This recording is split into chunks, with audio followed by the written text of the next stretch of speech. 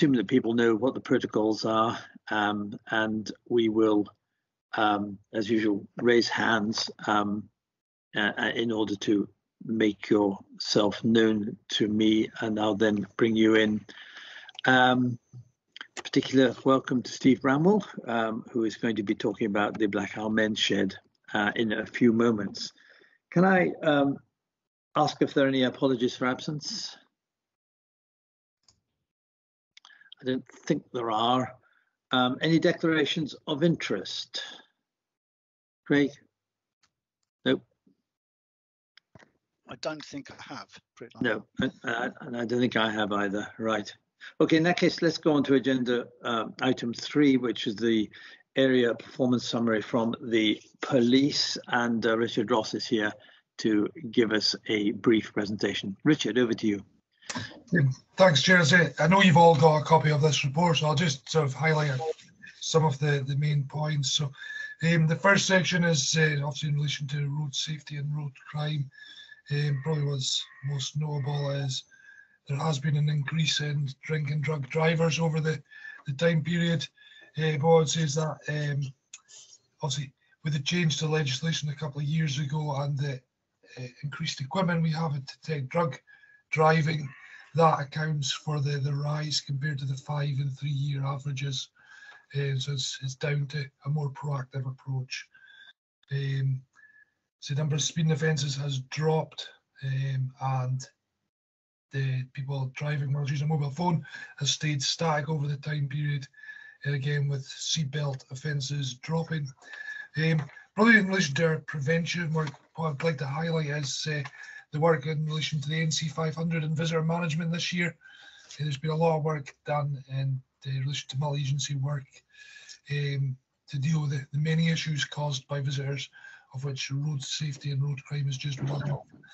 So um, intention is for that group, the multi-agency group, to continue next year, and planning's already in, in place for that.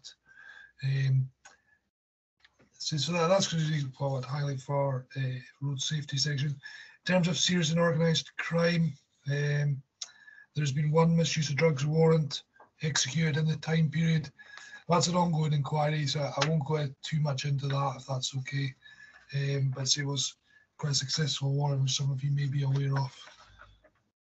Um, for acquisitive crime, uh, there's been a substantial drop in the number of theft by housebreaking. It's dropped from 11 the previous year to two this year. So um, a substantial drop.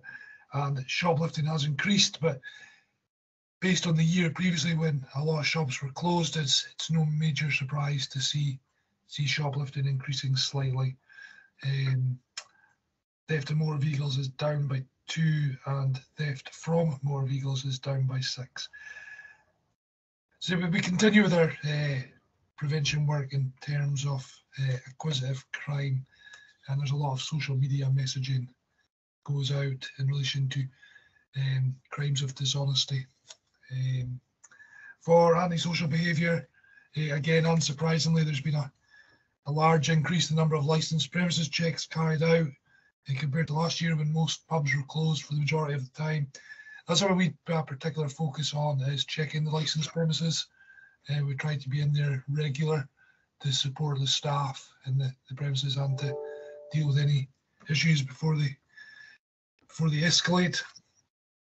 Um, in terms of uh, uh, drugs offences, there's been an increase of nine in, compared to last year. Uh, disorders, uh, there's just been a slight rise in terms of breach of the peace or threatened abusive behaviour, just a slight rise of two. Um, and again, staying fairly, fairly static, just slightly below the three and five year averages. Uh, been quite a significant drop in assaults on emergency services workers um, over that time period. Um, and see vandalisms itself have, also stayed fairly static. stop and search is a tactic we do use in the area. There's been 30 stop and searches carried out, of which 14 were positive searches. Um, so again, a near 50% success rate. Then moving on to protecting vulnerable people in terms of class two sexual crimes. there's been a drop of four compared to the previous year. And it is worth noting that these figures um, include historical offences which are reported to us at the time. It's, it's based on the time reported rather than when the offence actually happened for statistical purposes. And so a, a number of these offences are historical in nature.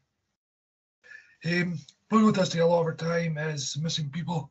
And you know that there's been, in the time period of this report, there's been 95 reports of missing persons in our uh, area. Um, obviously, there's a wide variety of reasons why that happens. Uh, what we do have is we've now got police liaison officers working directly with each of the uh, care homes for children in the area, trying to reduce the incidence of the people going missing. So that's a bit of an ongoing work to build up that relationship with the care home staff and also the, the residents as well to, to try and reduce the incidence of people going missing. But see, that is uh, 95 in that time period. Um, other than that, there's nothing else I would particularly wish to, to, to raise, but obviously I'm open for, for any questions you would like to ask. Thank you. Uh, thank you, Richard, very much. Um, Craig. Thank you, Commander. Um, I hope I've not promoted you. um, you have, I think. oh, right. No, it's very, I mean, obviously over the years, as a council, we see lots of uh, reports come to us. And one of the things that struck me now is the reduction in people of using uh, speeding mobile phones and seatbelts. Perhaps the message is actually getting through to people that it's not it's not worth the bother really, and for your own people's own safety to do that, they're being more vigilant in their driving. Um, obviously, noting some of your comments through the report, but the one that I found quite significant was the uh, detection rate for assaults on emergency workers. Now, I find that quite a heinous, um, egregious, if, you, if even going that far, that people would actually assault emergency workers. They're trying to help people at the end of the day.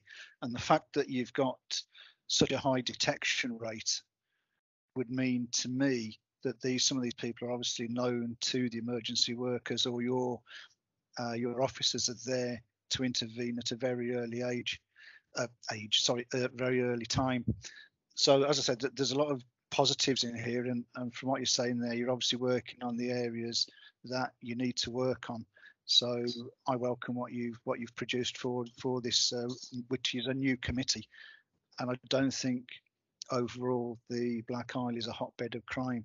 But I think with the vigilance that you and your officers are putting in, we can get an even better picture for the future. Thanks, Craig. Um, I might just add, um, Richard, uh, yeah, the um, I would endorse what Craig says. Um, 95 inquiries on missing people, though. I mean, that's that's quite a that's quite a thought. I assume that most of these people, all of these people, were traced without too much difficulty, or are, are many of them still missing? Uh, no, no. Uh, in terms of uh, we have no outstanding missing people in the area at the moment, uh, so they, have all been traced, um, and a lot. As a lot of these are traced fairly quickly. yeah. You know, compared to sort of long-running missing person inquiries, but that that is the number. So it shows the scale of the the work that that does go into missing people reports in the in that time period. But yeah, at the moment we have no outstanding missing people in the in the area. Yeah, I mean it takes up a lot of your time, I'm sure. Um, the other the other thing I was going to inquire about, which I don't think you've got any stats on, is um, online um, scams, which I know is a matter of considerable concern uh, to, to to to to many of the folk in this ward. Um, a lot of them are, are elderly, as you know, and they're a particular target. Um, can, can you tell us anything about that? Whether or not the incidence is is is has raised over the last um, number of months? Yeah. So what is um, in terms of online scams, whether that be by internet or telephone calls? Um, yeah, they're, they're regular occurrence. Um, the the va- very much the vast majority are perpetrated from out with this area. Uh, you know, the victims within the area, but they've contacted from out with, on many occasions from out with the UK. Um, you know, in terms of has it increased, I don't have the statistics in front of me, but we did see an increase when uh, lockdown started as the uh, uh, organised criminals moved from one crime type to another, and scams scams increased. Uh, I'd say it's it's a near daily occurrence for us to get a report of somebody having been scammed, uh, and some of the the money's lost would be eye watering. To be honest, the um, the scale of scale of the loss to people. Mm. So it's we do a lot of preventive work on. We've uh, just recently there's been an input to community councils. Um, I think there's maybe one offered to councillors as well. I'm not sure is that taking place yet. Um, but we look to get the message out there. Um, problem is the, the exact method of how these scams are perpetrated changes so regular. Um, it's it's very difficult to keep up with them, but we we do try and get messages out regularly. Okay. I'm wondering whether it would be useful, I think it probably would be, if we could have a, a sort of um, record of, of the number of these such instances that are reported on the Black Isle in future reports. If it's possible for you to produce these figures, I think that would be interesting because I know this is a topic of concern to, uh, to, to, to our constituents. Yeah, I'll, I'll speak to the unit that produced the report and see what we can get. And if not, in the report, I'm sure I'll be able to get something to you for for your information for the councillors, maybe separate to the report. Okay, thank you. Thank you. Jennifer, I think, has joined us, Councillor Jennifer Barclay. Uh, Jennifer, do you have any um, questions uh, for uh, Inspector Ross? Hello, Jennifer. Oh, perhaps she's not there. Okay, well, thank you very much indeed, Richard. That's um, um, really overall a pretty positive picture. It's good to see that uh, speeding is down. that's a that's a that's a good sign. Um, and um, yeah, uh, thank you and your officers for all the work that you continue to do. And um, we look forward to speaking to you or one of your colleagues in three months' time. That's good. Thanks very much, Chair. Thank you. Thanks, mate.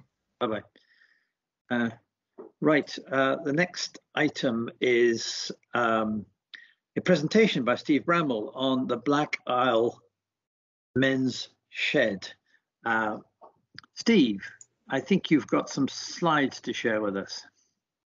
Yes, now I'm hoping that you might see my screen now. Uh, I can, yes, that's great. Oh my goodness. Well, that's the first technology um, uh, triumph today let's just go to the full Monty, shall we? Okay. Um, oh, it'll do like that, won't it? Really? That's, yeah, that's pretty. Uh, that's oh, pretty good I actually. shared because... them for you. Oh, okay. I shared that's... them for you, Steve. So it's mine you're seeing, I think. Oh, is that right? Okay. Oh, okay. So you just, tell great. me when you want oh. the next slide. All right. That's great. Well, I better get out of this screen then because I'm looking at my own one here. Anyway, I'll just use it as a prompt. That's great. Well, listen, thank you so much for inviting me along today. Um, this arose out of uh, a presentation I gave to the Black Isle um, Cares uh, AGM where Di was there and uh, she contacted me afterwards and it was uh, it was really nice to speak to her and to Kai uh, and get some advice about uh, about this project that we've set up. Um, I'm I'm the chairman of the Black Isle Men's Shed. Have been for about three years, and as you'll imagine, uh, the shed itself has uh, had to lock down, and we've tried to keep things going with various initiatives, including Zoom meetings and things. But we're very much now in a resetting up phase and trying to retrieve some of our members who've disappeared over those past two years uh, to other activities are got out of the way of uh, going to the shed. However, there's been a sort of core of very active uh, shed members, uh, most of us on the committee that set the shed up. And we've been thinking of ways in which we can benefit and work with the communities um, and we came up with this idea. Um, so we, um, let's see now, that's great. Have you just changed that, um, Alison? Have you changed the slide? No, sorry, I haven't. You want the next slide? Uh, yeah, I think I'm going to come out of out of this if I possibly can, um, uh, and come back to. You're on Yeah. the second slide now. Right. Okay. Could you just go back to the first slide uh, to begin with, so I'm just a bit more orientated. Oh, I'm back. Right. Okay. So um, what this was was a, a few of us who got together to wonder what we could do to uh, improve the quality of life of some of our less able members in the community. Um, and uh, we, uh, a year on from our uh, initial planning, uh, we're nearly ready to go. Uh, we've almost raised enough funds to start the service. Um, and you can see a, gathering here where we were being handed over our first trike that we'd raised funds for. And uh, it gives you a sort of idea of, uh, of what we do. Um, that's Gavin, who's the headmaster of the of uh, Fortrose Academy, with whom we're working. That's Leslie, who's our powerhouse, who organises all the training. There's Carola, whose parents are um, being uh, enjoying being in the trishaw, and that there is a resident from the care home called Billy, after whom the first trishaw has been named, uh, and it's called Billy Whiz, which is a an ironic name since they don't go more than five miles an hour. Um, the rest of the people in here, uh, um, a lady from the care home who's the, the social organizer, and in the right there, who you'll see more of, is Alan McCaffrey, our uh, chapter captain. So next slide, please.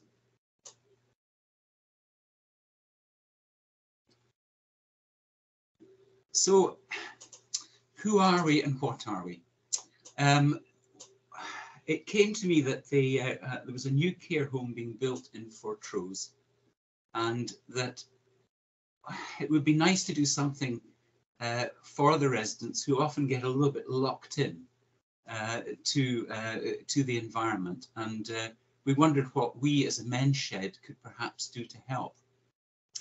And uh, we gave it some considerable thought, and then we realised that this really wasn't a totally a men's shed uh, project, but it was something that really should be led and based by uh, led by and based in the community uh, of the two towns, Fortrose and Rosemarkie, and uh, that uh, we decided to um, to form this group to obtain two mobility trishaw taxis so that we could get volunteers to take people out to local beauty spots, get them out and about, um, and uh, do this without cost to them, and see if we could benefit them just as other groups in the uh, in the area have done.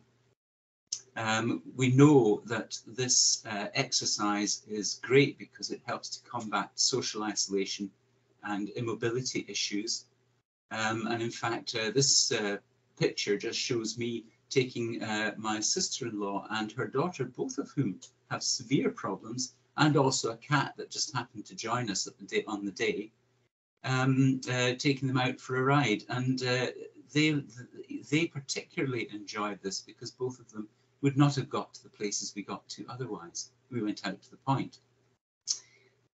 And uh, the other thing is that um, we wanted to provide volunteer um, opportunities uh, in the local community because we, many of us have experienced the benefits of volunteering and we felt that this would be a very good thing that might help to strengthen the community spirits uh, within two areas which have, have, had a remarkable growth in the number of people. Um, but within Fortrose and Rosemarkie, there has been a limited opportunity for these people to take part in their community. And I think that unless we help to promote um, uh, a community spirit and, um, uh, shall we say, uh, help people to join in activities like this, then there's a danger that it just becomes a sleepy commuter area and we lose this wonderful opportunity uh, to help other people. And finally, we realised uh, with our intergenerational work that we've done in the shed previously with the Avoch Primary School, that involving um, pupils, perhaps senior pupils in Fortrose Academy, uh, um, would be a good idea. So you can see that there's a raft of good ideas there. Uh, if we go on to the next slide.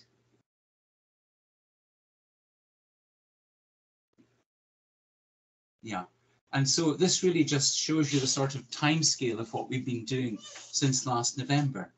So this started off as an idea of ourselves, uh, for ourselves. Um, uh, we the next step was to get a, was to do our research to see how the community would um, would uh, accept this sort of initiative. So we got a loan of, of a trike for from Mick Heath from Spokes for Folks in Inverness, and um, we uh, started to uh, talk to uh, Cycling Without Age Scotland, which is very much a parent um, uh, uh, charity, which is encouraged by the government to help other groups set up. So we started our links with them. We formed um, an aptly named steering group in February 2021, and I'll go into the details of that steering group just in a, a wee second. Um, we became a chapter of uh, Cycling Without Age Scotland uh, with our own constitution and affiliated to them so that we're protected by their charitable status in March of this year.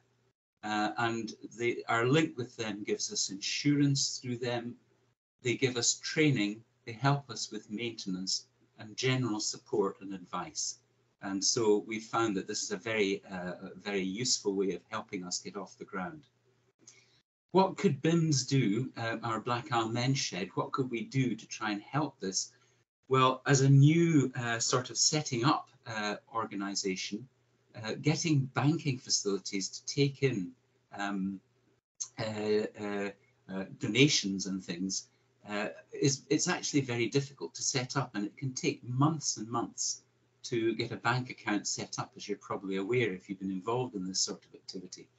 So what we felt was that we could provide people with banking support. They could use our bank account to put money into. Um, they could use our web page for a, web, a, a sort of link to uh, encourage people to donate and to publicize. And also for the first six months or so of the activity, we took them under our wing and covered them uh, with insurance until the insurance was taken over by Cycling Without Age Scotland. So we were able to ensure that we could uh, carry on and accrue funds through fundraising by helping with this. And I think that's quite a nice model that other groups might might uh, take up. We had a fundraising target of £19,000 and these trikes are not inexpensive. Uh, they come from Denmark, they have to come through the parent charity uh, who get them at a, a reasonable price um, and they're electric trikes uh, with lots of lots of uh, power in them, so that they're ideal for going up hills in Fortrose. And so we needed two of those, but we also thought that we would be best to try and get a trailer so that we can take, uh, we can recover trikes that break down if we need to, but more importantly, to try and take the trikes out to other communities so that they can, uh, other communities can benefit from the service and perhaps be inspired or encouraged to set their own up. And actually, as we speak, our trike is on its trailer on the way to Avoch, where a lady is interested in setting up a service. We're going to give free rides in Avoch today.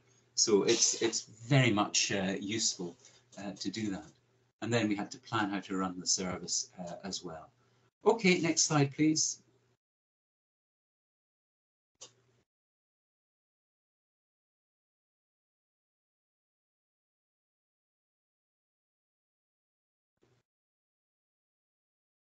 Okay, so making it happen.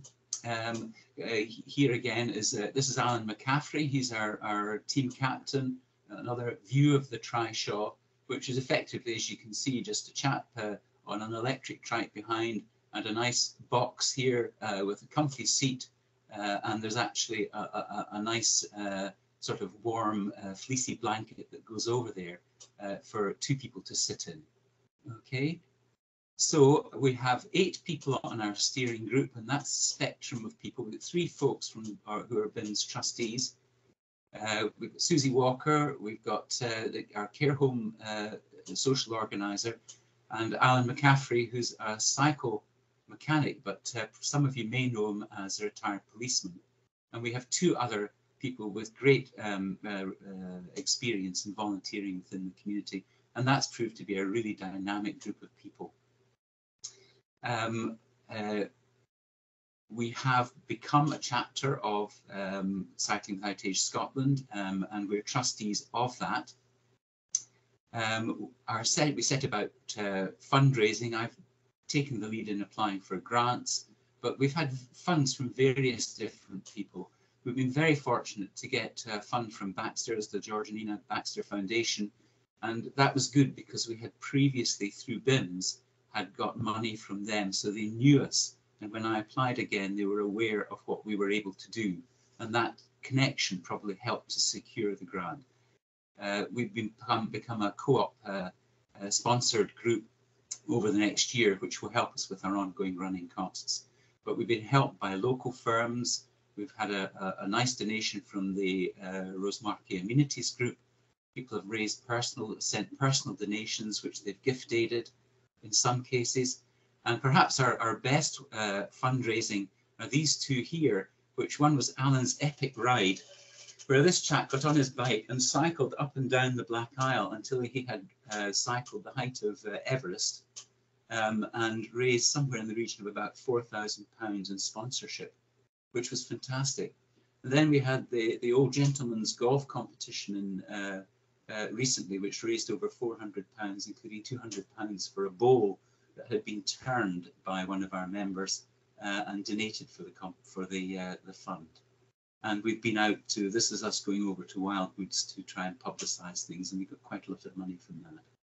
We're actively engaged in training volunteer pilots and uh, um, we, we aim to have 20. We're nearly up there now, so we're just about ready to do that. And we've been able to uh, have some good publicity by taking the trikes about town uh, through the Ross-Shire Journal, who've been really supportive um, and other groups, including Black Cares, Black Isle Notice Board, etc. Next slide, please.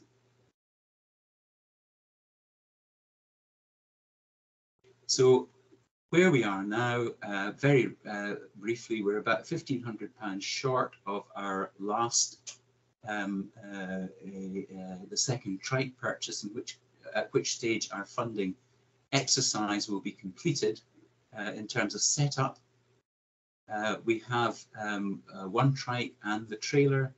We have our we have ongoing um, pilot training. We've looked at most of the routes. Some we've found are, are suitable. Others we have to take very light passengers only because the road down to the harbour at Fortrose is quite a, a difficult one to get back from. But by and large, we're doing pretty well. And we started doing rides, particularly through the care home where they have uh, the ability to do social distancing, which is much easier. And we're now reaching out to the various different groups who could help us find the people who might benefit most from this. So uh, next slide, please. I think we're just about there. Now, Alison, I don't know whether you could play the, uh, yeah, that's the, that I think will do for the last slide. Um, have you got the link to the video you can play?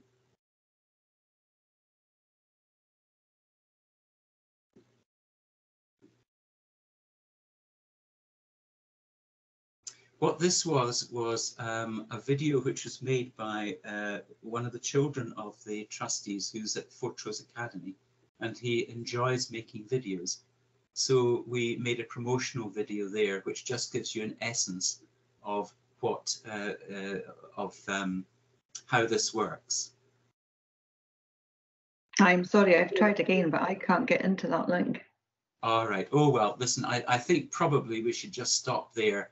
Um, uh, I'm sorry I haven't been able to show you it. It really was quite a quite an uplifting week, but uh, um, I think we're nearly there, and uh, I'm happy to answer any questions you would like.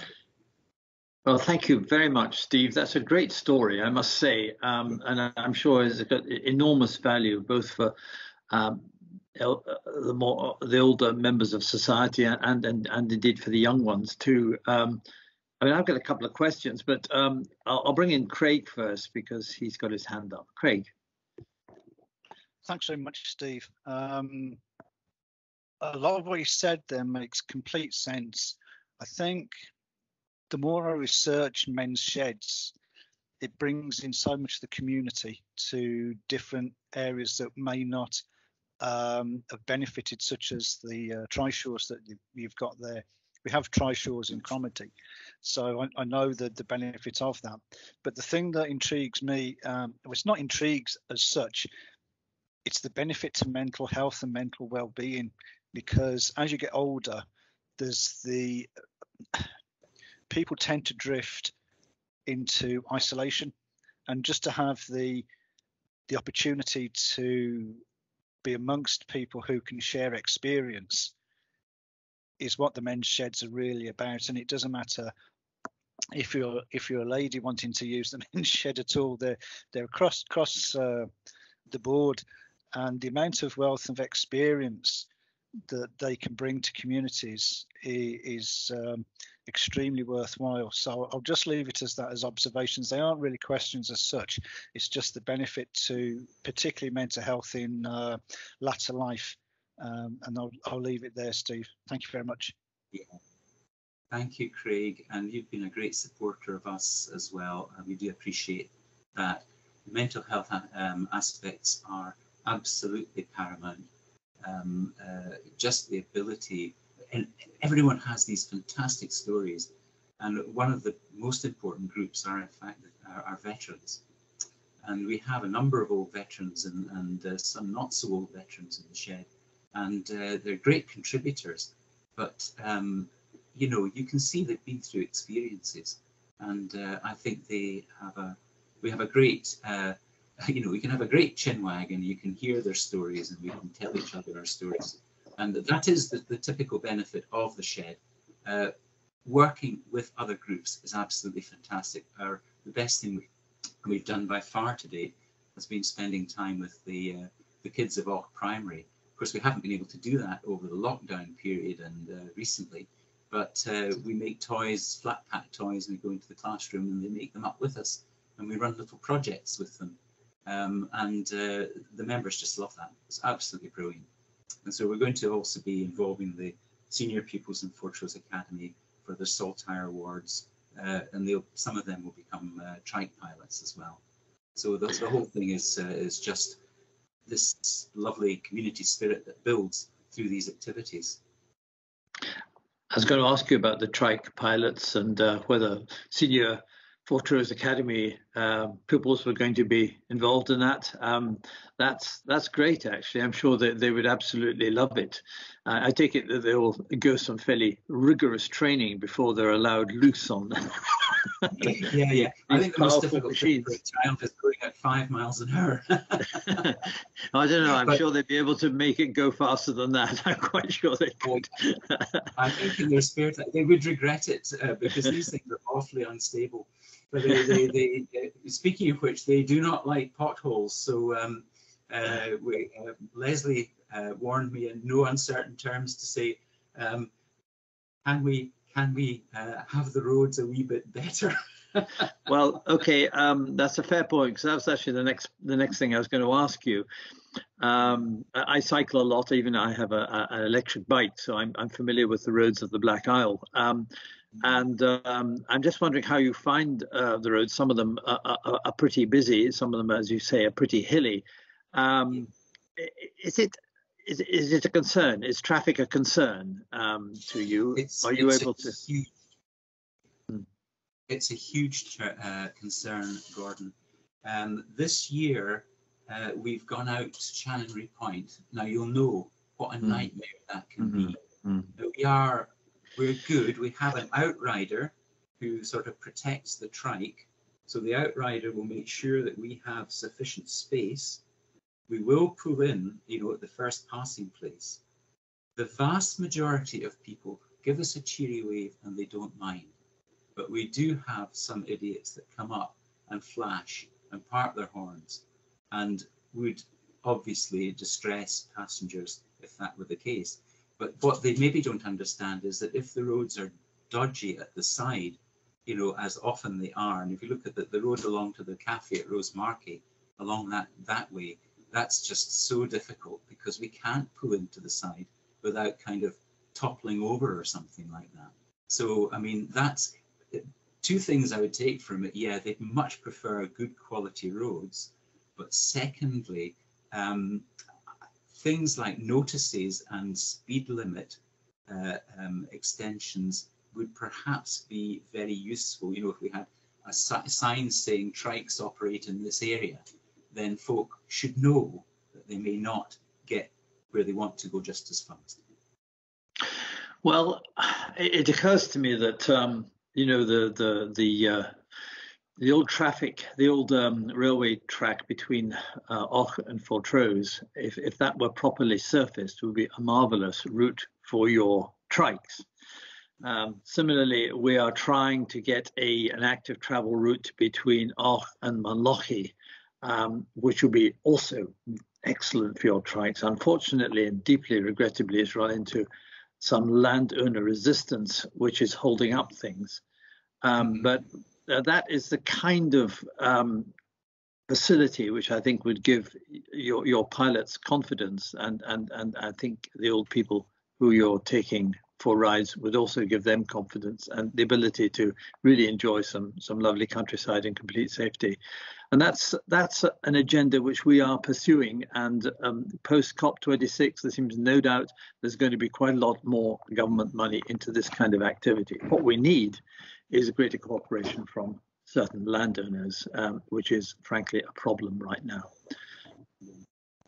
um, that we would be delighted about that. Uh, at presently, that that's a great. The chap who does the maintains the track does a great job, but mm. um, you know we would need a proper uh, sort of surface there to to safely go. We, we are quite wide. I think we're just over about 1.2 meters wide. Right. Mm, so that does uh, it, it means that anything else coming the other way is going to have to have to jump up the bank. yeah, yes, well, well, exactly. As for Chanonry Point, well, that is another issue altogether. Maybe we should make it a trike-only track. Oh, yeah. well, I, I, will say that we've been enormously grateful to the chap who was the warden there. Yeah. And uh, the, that he's done a fantastic job under very difficult circumstances. Been really helpful. He's helped with widening the track so we can get we can take a quick left out towards the picnic area now uh, with the trikes um, at, at, the point and that uh, all these things and uh, controlling traffic. He's done a good job in adverse circumstances, I feel. Well, I, I, think it's a it's a great initiative. Um, the intergenerational aspect too, I think, is is is, is hugely beneficial. Jennifer, I think you're on the call. Is there, is there anything you'd like to say? I can see you there, but I'm not sure if you're able to hear me. Perhaps, perhaps not. But um, anyway, um, Gen Councillor Barclay is, is, is, is, I think, listening in. Um, Craig, yes, uh, another comment. It's just a comment that Steve made there regarding road surface. I would encourage councillors, that's us, to actually be a passenger. I've been a passenger in the one in Cromarty the other year, and you only need an upstand or a downstand, a pothole of about a half, um, half you say a couple of centimeters to feel extremely uncomfortable. And some older uh, residents have felt um, sufficiently uncomfortable that they they they don't actually like going on it, and it's due to the the road surface. I know we can't get the road like a billiard table, but there's certain areas, especially when you're turning left or right into different roads. Uh, I've got one in, in Cromarty at Church Street and um, Forsyth Place. That's not a lot of money to um, uh, resolve just to make that turn, that right or left turn, a lot more smooth for the passenger. And I think Steve, as a, as a pilot, would actually appreciate what I'm saying there. It's this: mm. you only need a, a slight dip or an upstand in a road surface to make a considerable uh, person uncomfortable as a passenger. So that's all I'll say on that one. That's probably for us going to pick up at a later date. Yep, absolutely. Um, Thank you, Craig, very much indeed. And thank you, Steve. Um, uh, and, uh, you know, every success to your endeavours. Um, and I'm happy to say I think that the Ward Discretionary Fund is going to be contributing towards your target.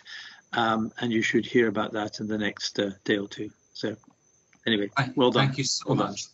Yeah, and, and, also thank you so much for, for supporting the Black Isle Shed. Uh, because uh, the, the, the, funds that have come through the discretionary fund over the years have made all the difference. So great. Well, that's uh, that's that's good to know. That's really good to know. Okay, thank you again for coming. Much appreciated. Bye bye. Bye bye. Um, right. If we go on to the next agenda item, um, which is the housing performance report, and I think uh, Rory uh, I, is going to um, present this. Good morning.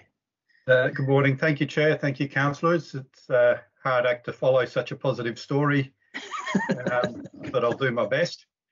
Um, you've got the um, report in front of you, so I won't read it in exhaustive detail, but I will um, talk about a couple of points on it. Um, you will have heard previously about the impact of COVID on non-emergency repairs.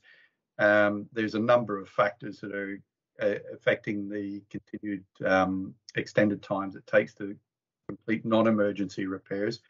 During the lockdown period, we focused on emergency repairs, which is why they have maintained their performance. But also there are issues with um, material supply, um, which yeah. are ongoing, and um, we're anticipating that that that there is going to be an ongoing impact throughout the year on non-emergency repairs. But we are working through backlogs at the moment. Um, rent arrears has seen a very slight increase, but it's um, you know stayed at um, the similar levels to what it's been over the last um, couple of years, and it is lower than quarter two in the previous year. Um, we're not reporting on the void performance for this committee um, as we didn't have the the data completely vet, um, vetted by the time the report was due. Um, but we can provide that information at a later committee if you like, or um, at a ward business. Um, at that point, I'll open it up to any questions that members might have. Um, thank you, Roy.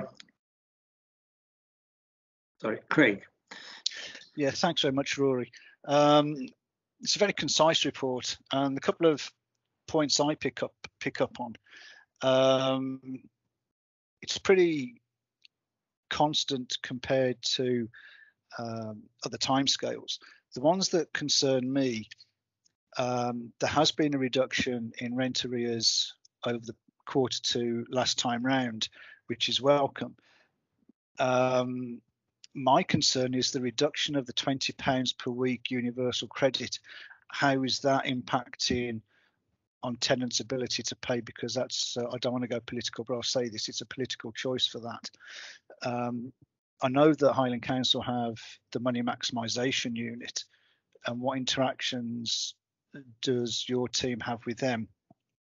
And the other point is contractor availability, because I know from uh, different areas, different uh, council areas, that contractor availability and having approved contractors on our procurement uh, regime, how are you how you finding that uh, to make make it so that you're able to deliver what our tenants expect? Because at the end of the day, um, if you're having contract not being able to get the relative correct contractor for the right job, that's going to have a wider impact on our area. And we, I, I think I'll speak for Gordon as well and Jennifer. We want our tenants to be in um, as maintenance-free properties as we possibly can. Obviously, the, I'm going to be picking up on this um, in the last agenda item,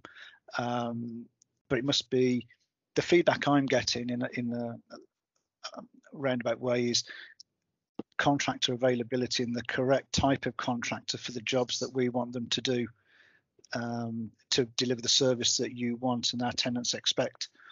I hope I've articulated that in uh, a suitable way for you there, uh, Rory. Yeah, Rory, do you have any response?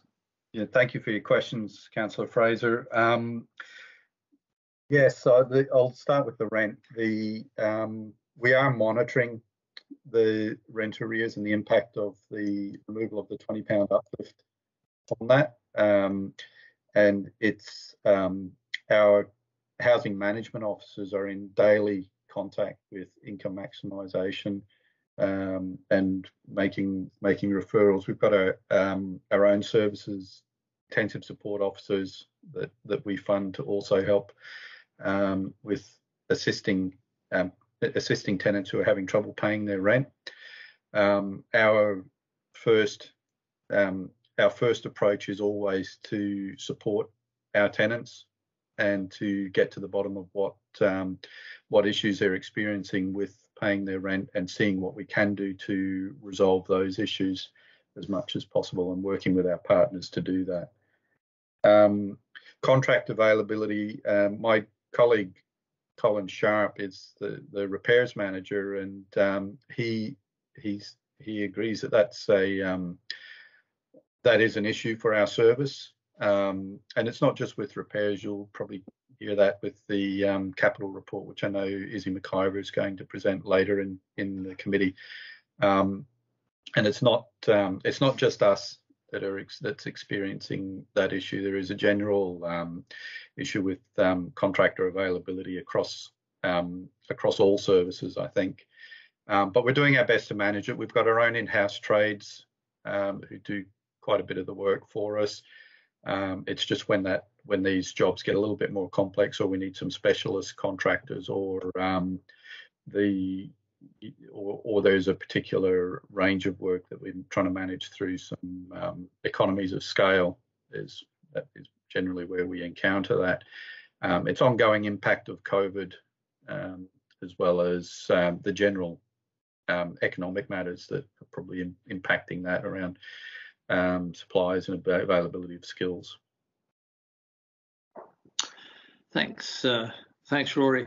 I'm just looking at the number of homeless presentations. Admittedly, this is for the whole of Ross and Cromarty, um, which has gone up quite a lot after a period of being relatively stable uh, in quarter two. Do you think this is seasonal or is it something more significant?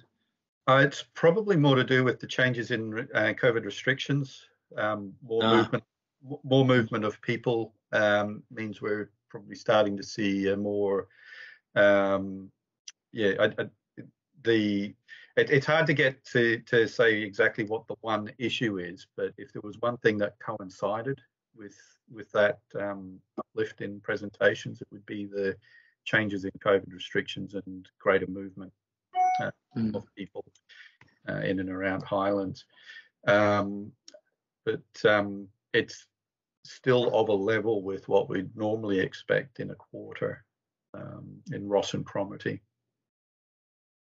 Okay, fine. Um, I don't know if you're the right person to ask, but is there a particular problem with the waiting lists in, in the Black Isle? Um, in, in in what respect? do you mean um, people waiting longer for yeah, housing? Yeah, yeah, that's right, exactly.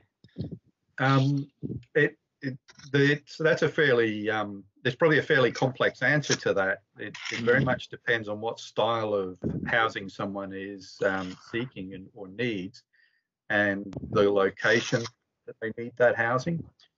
Um, so there's yeah, it, I'll, um, I'll I'll take an example of if you're talking about large family homes. Um, you know, if someone is looking for a large family home um, we have a limited supply of large family homes, and although the, the wait list might be smaller, people waiting for large family homes, the low, the turnover is is lower. Um, so if we've got um, people in those circumstances and they're waiting for a large family home in say um, those examples, then we need to um, we need to look at what someone's options are, be that in um, social rented housing through um, council or one of our partners, or um, the private sector, or um, or what the um, development program, program could possibly deliver, uh, depending on the availability of of land, um, and that issue is replicated in differing different housing types across across the Highland Housing Register, and um, so it, if you wanted specific detail about the, the, the, Black Isle waiting lists, I could um, go away and come back with that information, but it probably would um, be best coming to board business, so I can talk through that in a bit more detail. Yeah, no, no that's fine. I, I just wanted to know if there was a particular issue there that concerned the Black Isle that you were worried about, but it sounds like it, there isn't a particular issue. I, yeah, I wouldn't say there's a particular issue that's not a broader issue across, across Yeah. the area. Okay, okay, fine. Thanks very much. Craig, have you another point? Sorry, it's just a quick question. Page 15, um, reactive repairs carried out first time. What, what do we actually mean by reactive? I understand proactive, uh, reactive, I think it's the opposite, but if, um, because it looks like a bit of a slippage there and it's the only one that, of that list that's in the red. So I'd assume that you would be focusing on that to get that into the amber and the green. Yes, that's that's correct. A reactive repair is a um, responsive or a repair that's reported to us. Um, so these the, the data is picked up out of our um, our housing information system. Um, so if someone um, calls the call centre and asks for a repair to be done, then an appointment will be made and um, and a, a a contractor or a one of our trades will attend and carry out that repair. Um, and that figure is based on whether we've made um, kept our appointment time um, or whether we've had to come back and do um, carry out um, extra repairs and that may be the case sometimes with with an emergency is we'll go out and deal with the emergency issue but there might be more parts required to um, come back and pick up the rest of the job on a on a separate ticket. Um, that figure itself, um, I haven't. It's not um, disaggregated down to Black Isle, so um, that is across Ross and Cromarty. But I can. Um, we're working on disaggregating that that ta- that appendix table uh, across the Ross and Cromarty wards, as, but that might not happen until next year. Okay, thank Yeah, you very much I'll- indeed. I'll just come back on that if I may. I'll I'll, I'll pick up on that point with with Colin because I'm uh, I've got a very good strong working relationship with Crom- with Colin regarding uh, building maintenance and, and repairs and that. So I'll pick that one up uh, with Colin at the other agenda item. Thank you, Rory. Rory, uh, that's great. I don't think there are any further questions. Um, so thank you very much indeed for your report and um, and uh, uh, and, and um, yeah, thanks. Thank you, Chair. Thank you, members. Okay. Okay, the next uh, agenda item is the area uh, da, da, da, the Ross and Cromarty Educational Trust. Now, I think Derek Martin is going to give us a, a, a quick introduction to this one. Um, Derek. Uh, good morning, Chair, and good morning, members. I'm actually on holiday today, so forgive me, I'm on a mobile phone at the moment, uh, and I don't have the paper actually uh, in front of me. But uh, in summary, the uh, Cromarty Trust was badly affected, of course, with COVID last year, which meant that grant aid wasn't processed in, uh, in start, uh, uh, at the end of the financial year due to the lockdown, and so we processed them in uh, May and June, which of course goes into the next uh, financial year. Unfortunately, it meant that the revenue that was available for it had to be returned legally to the capital. We did explore, as you'll see in the paper, if there was any option for us to carry that revenue forward, but unfortunately we weren't able to. So following discussion with the Executive Chief Officer and the Chair of the Education Committee, and two senior members uh, that cover uh, uh, mid area, um, was decided that we would put an emergency payment of just over £21,000 from the area education budget uh, into the Ross and Cromarty Trust in order that we would be able to make some payments uh, in May and June uh, of last year. Um, primarily due to the applications which reflected the COVID situation, whereby people who were applying uh, to it, their parents uh, had been badly affected, some businesses had closed and so on. And so it was good that we were able to do that one-off payment uh, from the area into the trust on the trustees' behalf to make those payments. Going forward, uh, you can see that uh, we're uncertain what the financial situation is going to be like for the next few years.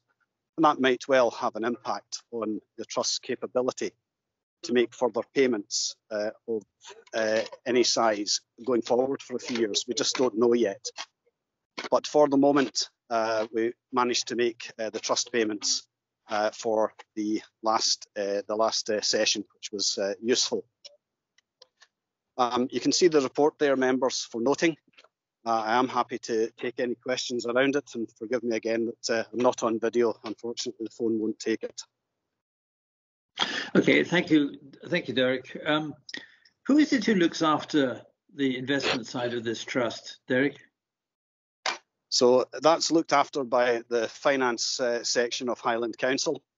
And you'll recall under the old Ross and Cromarty committee, we modernised the trust about uh, three years ago, I think, where we uh, made it uh, more appropriate because it still referred to pounds and shillings and so on.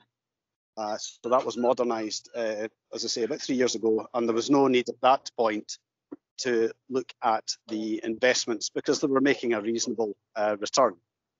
But the finance section do that on members' behalf, and uh, it was suggested in the Dingwall and Seaforth uh, meeting last week that it might be useful to look at the investments going forward again, and we can take advice from the finance department around that. Yes, because it, it, does seem to be very restrictive. Um, I mean, the capital fund sits at 1.6 million, um, and we don't appear to be able to take out more than a few thousand each year. Um, yeah, the average, would, the average appears to be around. Sorry, the average appears to be around 15,000, although the previous year I think it was about 12. Uh, maybe no surprise with the, with the COVID uh, situation. Um, yeah. But yes, it's it does strike me that uh, that for the amount of capital, it's not necessarily a huge a huge return of available funds. Now, the Duncraig Trust, which is also mentioned in the report, uh, has a, a similar uh, amount of revenue uh, each year. Uh, so I'm not being a financial expert, I'm not certain what we can do investment-wise, but uh, maybe the, the finance side of things would be able to help. Yeah. Okay. Well, I mean, I'm, i think it may be worth looking at uh, whether or not the investments are, you know, whether the, the return could improve um, were they perhaps being handled by um, by a different uh, investment broker. Uh, I'm no expert on this, but I, I think it's worth looking at because I think it would be benefit beneficial to to to to to our constituents if we could make, say, £25,000 available each year rather than just 15,000. And I wouldn't have thought with a, a capital fund of 1.6 million that that's unrealistic. I would have thought it's perfectly realistic. Um, so I wonder if you could perhaps sort of look into that in in, in the next uh, month or two, uh, Derek, to see whether or not something like that could be could be arranged. Um, um, Craig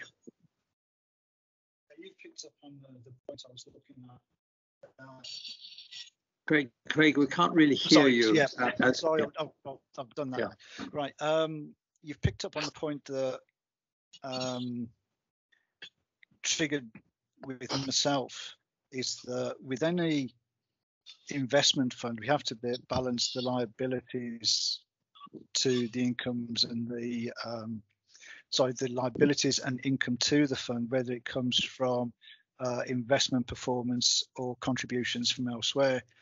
Now, with that size of fund, I would think it reasonable that we should, with uh, financial diligence and fiduciary um, constraint, be able to increase that 1500 that 15,000 to somewhere like 20 or 25. I, I have to completely agree, but we would need to have the finance, Ed Foster's finance department actually look at that to see what we can actually do uh, because we do have a fiduciary duty. And that fund obviously needs to run for as long as we've got pupils or people that need access to it or pupil uh, youths that need access to it. But i think that we should that's only one percent. And most pension funds at the moment are running at five. Yeah. So we should be able to increase it, say, to two percent. What would that actually look like without compromising the actual fund itself? And I think if we can sit down with Derek um, and say Ed Foster or, or the fund managers of of this and say, look, you know, we're taking out one one and a half percent. Is there a possibility for us to take out two percent? And what would that give us as an additional that we can use for educational purposes on the Black Isle? I think that's a good suggestion, Craig. Um, perhaps that's something that we can fix up in um, the, the the next um, few weeks, uh, Derek. Um, can I can we leave that in your hands? Uh, yes, I think uh, that's the general feeling from a number of uh, committees to see what could be done. And uh, I'll, I'll, be speaking to the finance side of things to see what the options are. One of the other things, members, that uh, uh, another committee were conscious of was about the um, the type of investments. Um, you know, certain investments, of course, often make a better return, but may raise uh, moral questions such as investment in arms and so on. Yeah, sure. So that's something else uh, to consider uh, as well. well. So yes, I think it would be a good idea because uh, increasingly uh, we're getting, uh, since the modernisation of the Ross and Cromarty Trust in particular, we're now getting a good number of applications after years of not much happening. so it would be good to maximise what we can revenue-wise. Good. Thank you, Derek, very much. It sounds like you're either building or demolishing a house. I'm not sure which. um, I've been the Lochman shed uh, this morning, uh, who are busy uh, working away on various projects at uh, nearby the school. So lovely to see. okay, very good. Thank you very much for your report. I appreciate uh, taking time off your your your your your, your holiday. Thanks. Um, right. Um, so. Um, members, uh, we, we note this report um, and uh, also note the request that we have a look again at the investment strategy. Um, fine. Uh, and now we come to the Inner Firth uh, proposed local development plan and, and Tim starts. Tim has already made one uh, presentation on this this morning um, and I think you're going to rattle through it again for our benefit. Right, Tim, over to you. Thank you, Chair, and good morning, members. Uh, if you bear with me, I'll just get my pointer set up so we can go go through this. Right. Yes, the, the, this item seeks your approval of the local detail of the new Inner local development plan as it affects your ward. I'll take you through that local detail soon, but uh, first of all, some wider context as to where we are in the plan process itself. Uh, you may recall we were with you. Oh, sorry, we weren't with uh, the Black Isle committee because that wasn't formed at the time, but uh, we were around the uh, uh, local city committees about a year ago, uh, seeking your approval of what was called a main issues report, which was a, a options draft of the, of the plan. Uh, we consulted on that on that uh, document at the beginning of 2021. We've got an awful lot of comments which we've been through, and that has shaped the office recommendations that are before you uh, now. The this Black committee is one of six local city committees um, that are being asked to approve the or choose and approve the uh, the local detail. Uh, there are plan-wide issues which are in Appendix 2 of your papers, which um, really rest with the Economy and Infrastructure Committee on the 2nd of December to decide upon, but we are seeking uh, local city committee views on the detail of Appendix 2 as well. So we, we, are asking you to consider the comments that have been received on the main issues report and to agree to the um, the main content of the proposed plan. That will then be issued at the beginning of next year, probably in March time, uh, and then thereafter um, uh, there will be a, a, period of eight weeks for comments and objections, and those ob objections will be referred to a government appointed reporter, probably around about the end of next next year for that. That's the plan area, uh, the wider boundary of it, so it covers quite a large area, and obviously the Black Isle is central to it. Uh, I'm going to go take you through that local detail very soon, but uh, just so you're aware, the highlighted uh, yellow boxes here highlight the main settlements that cover your uh, or fall within your boundary. Um, I've included North Kessock and Tore, which uh, overlap with your boundary. So yes, we we uh, part of the papers are the um, telling what people have said on the main issues report. We've had over 1,400 comments, which is a record number for any uh, local development plan in Highland. Uh, the methods that we use to get that uh, amount of comments is that we did a postcard postcard mail shot of every single household. We had a social media campaign, lots of online videos on what the plan was about and how to make comments. We attended a lot of, certainly on the Black Isle, attended an awful lot of Teams and Zooms, uh, Zoom meetings, which were organised by local groups. Uh, where community councils weren't commenting, we phoned them up to um, seek their views, and we had paper copy options available as well. So because the, that those methods have worked fairly well, we propose and section seven of the covering report, you'll see the uh, proposed method and timing of the consultation. Uh, eight weeks consultation beginning in March, and we will consider uh, face-to-face meetings if we're allowed to under government guidance at that time. I mentioned Appendix 2. This is the plan-wide detail. Uh, sorry, so the plan-wide content. There, so there are a lot of what we call general policies are contained in here. So, for example, there's a, a new uh, policy on um, forcing landowners and developers to provide uh, a proportion of self-build plots within the bigger bigger sites. Um, they another example is we're increasing the affordable housing percentage to 35% within the city boundary. So you know that that sort of um, detail and new ways of doing things are um, within Appendix 2, and we would, uh, every local city committee is being asked for their views on those issues as well. Um, housing and the countryside hinterland boundary, uh, some of the other local city committees wanted to see a change in it. And, and uh, when we came to you the last time, there, there wasn't any desire on the Black Isle to change it. Uh, the reordered settlement hierarchy doesn't affect any main settlement on the Black Isle. There aren't any changes proposed there.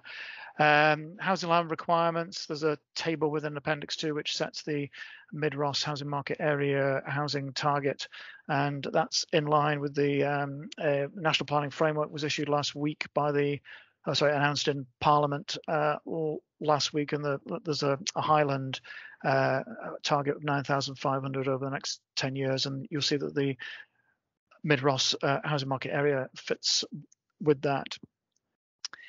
Uh, so yeah, what the each local city committee is being asked to decide upon the local detail, uh, and by local detail I mean which sites to earmark for development within each main settlement, uh, the list of land uses which would be acceptable on those sites. Uh, there's also new maps which you haven't seen before, members, which is for each main settlement uh, a map showing which areas of green space should be protected from development. Again, the idea is to flag up for local communities and developers, which where we will not encourage any uh, planning applications at all. Uh, there's an indicative housing capacity given for the main sites, and there's a list, list of placemaking priorities uh, for each place as well. These are important because uh, obviously if we get a planning application out with any of the allocated sites, then we have, have to have a set of uh, guidance that applies to any other planning applications within the village boundaries. So that's what they are. So I'll quickly run you through the seven main settlements on the Black Isle. Um, within Avoch, uh, so the, the colors here, uh, is, this is just a base map from the main issues report, but the important things to bear in mind, members, are the whether there's a red X or a uh, a white tick in a green circle.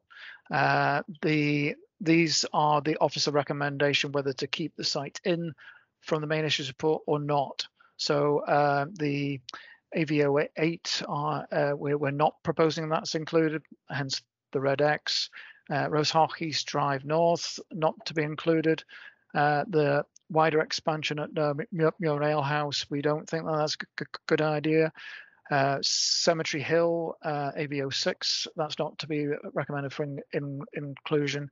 And uh, the in industrial estate expansion at the south end of Avoch, we had in the main issues report shown it as green, i.e. a preferred site, um, but the, there was uh, quite a few comments received on the main issues report whether locals were concerned about that site, didn't want to, to see it taken forward and highlighted very uh, good issues in terms of the whether there was sufficient road capacity to cope with additional vehicle trips from from that size of site. So the officer recommendation before you is to agree with those uh, comments and not uh, take AV05 forward. Uh, however, we are um, taking the harbour um, proposal forward. That's just a revamp to dredge the harbour and maybe to um, uh, tidy up the backup land adjacent to the harbour. So that's uh, AVO4. Rosehaugh East uh, Drive South is had a uh, has had a previous planning permission and there's still a planning planning application pending on on that site. So we think that should be taken forward. Um, Memorial Field AVO2 is on site now, almost complete. Uh, any site that's fully complete will will won't appear on the proposed plan mapping. Uh, the, so really the only site apart from AVO1 that we have uh, for future development is uh, AVO3. Uh, um, so this is a Muir Ale House, uh, a mixture of housing, uh, community and other uses are proposed on that site.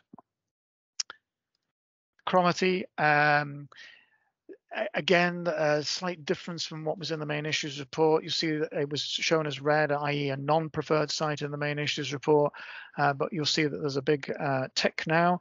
And the reason for that is we, well, because of doubts about the only uh, housing and other development site that we have in the town, uh, known, I think, by the locals as Jocks Field. Uh, we um, there's issues with the site in term Albyn Housing Society own it. Uh, and we had a meeting with them to, to see whether they were um, uh, keen to take it forward and able to take it forward. Um, because of the access uh, concerns along the south side of the um, Victoria Hall playing field, um, it, it, it's it's not uh, it doesn't uh, appear at present to be what we call an effective and a viable site because of the the, the need for um, a, a, costly and an, a difficult access improvement to it. So because of the doubts about Jocksfield site, we are recommending to you today to take forward the what we call the south south of the man site uh, for uh, a, a, mixture of, of housing uh, community and maybe a business use as well.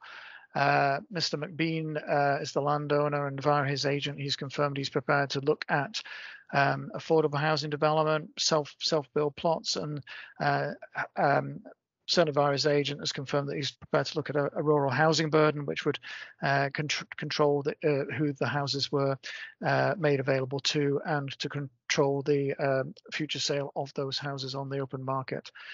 Finally, CMO2 uh, is the campervan um, planning permission sites, or, uh, including adjoining land as well, just in case the, the, um, the camper van service area doesn't prove to be large enough, and to also allow some additional planting on the uh, western approach to, to the town. Culbokie, uh, in Culbokie, we're really going with the same recommendations as the you endorsed in the main issues report. CU1, uh, this is the Toloka development, CU01, which is on site now, uh, almost finished. Uh, CU02 is the the community proposal for mainly community and green space uses. I think that's on site or be on site soon as well.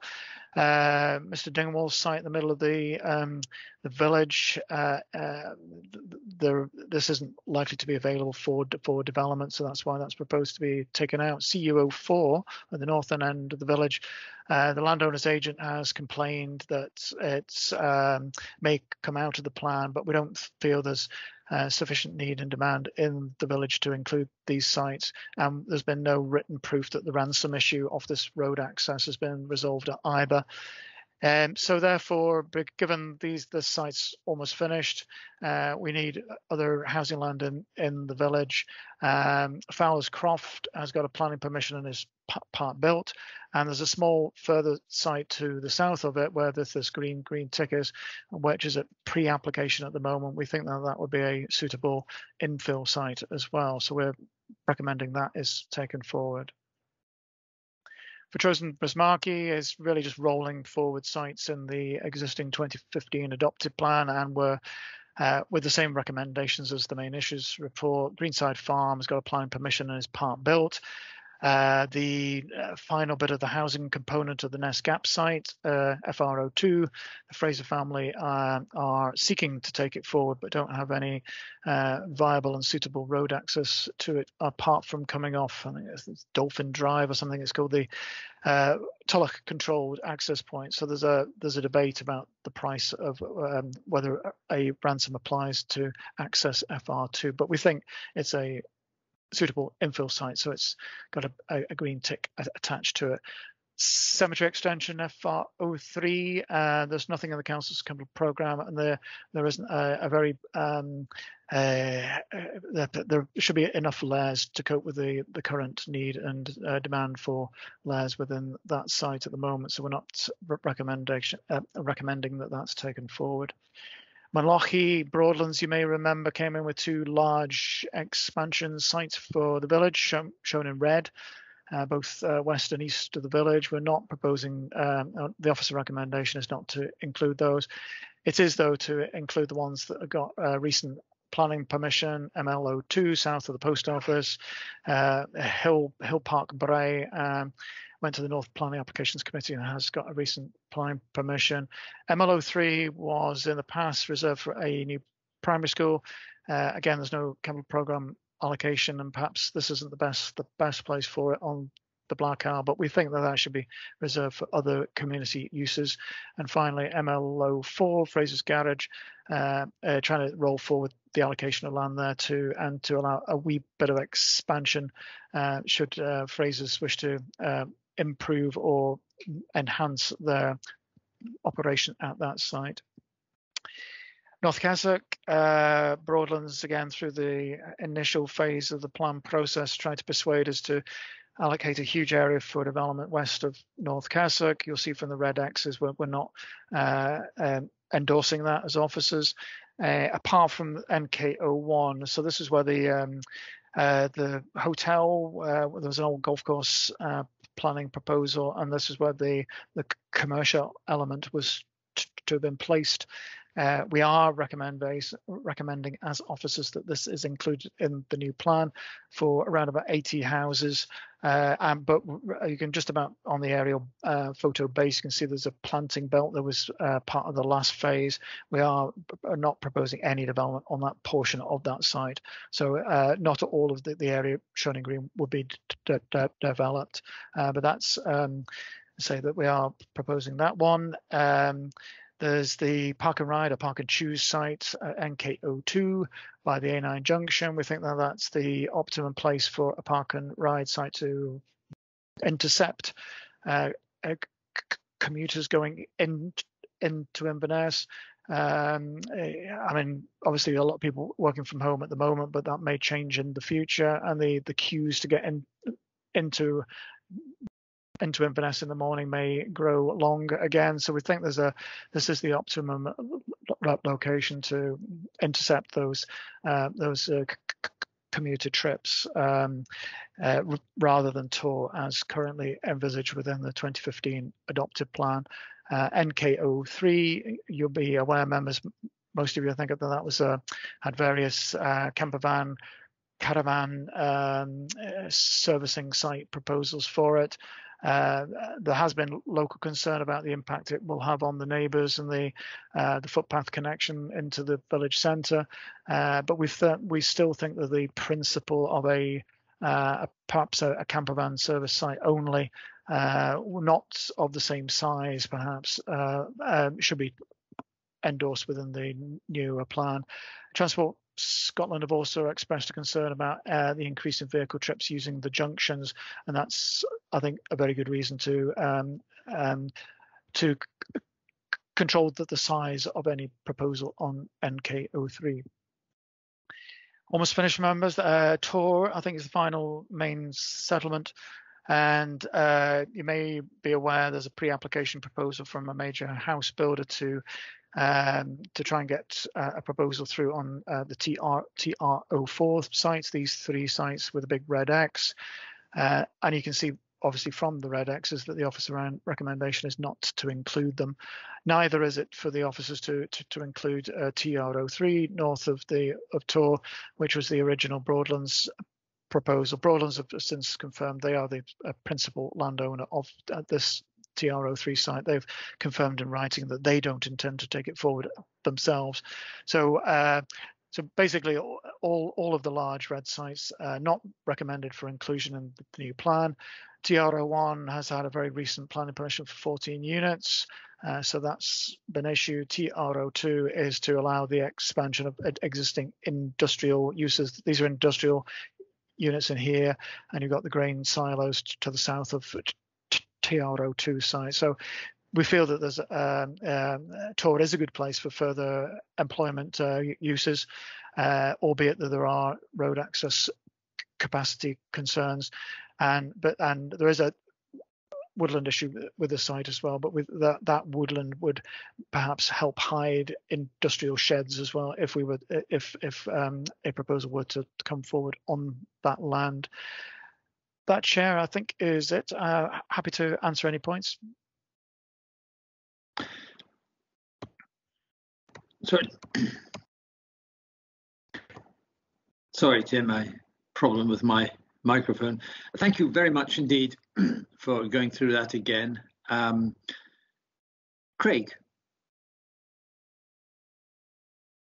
Yeah, thank you, Tim. Before I start, I'd just like to say what an amount, huge amount of work that you and your team uh, have put into this to get to a proposal that community councils on the Black Isle at this stage can interact with. We have a wealth of people uh, within our community community councils and community that are really engaged and fully understand the planning process and to have this opportunity to discuss this before we get out to the public is really to be welcome because we can then develop a planning strategy for this for the Black Isle, as we're talking about here, to um, uh, get a, a, framework that that is broadly um, accepted by the majority of people.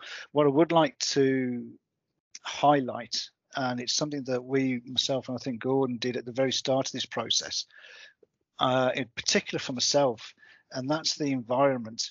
Are you able to pull up the inner Moray Firth strategy map that you pulled up first on, on screen and that should able be able to illustrate the point I'm trying to make. I think it's the the third one, third one along. That one, yes, right.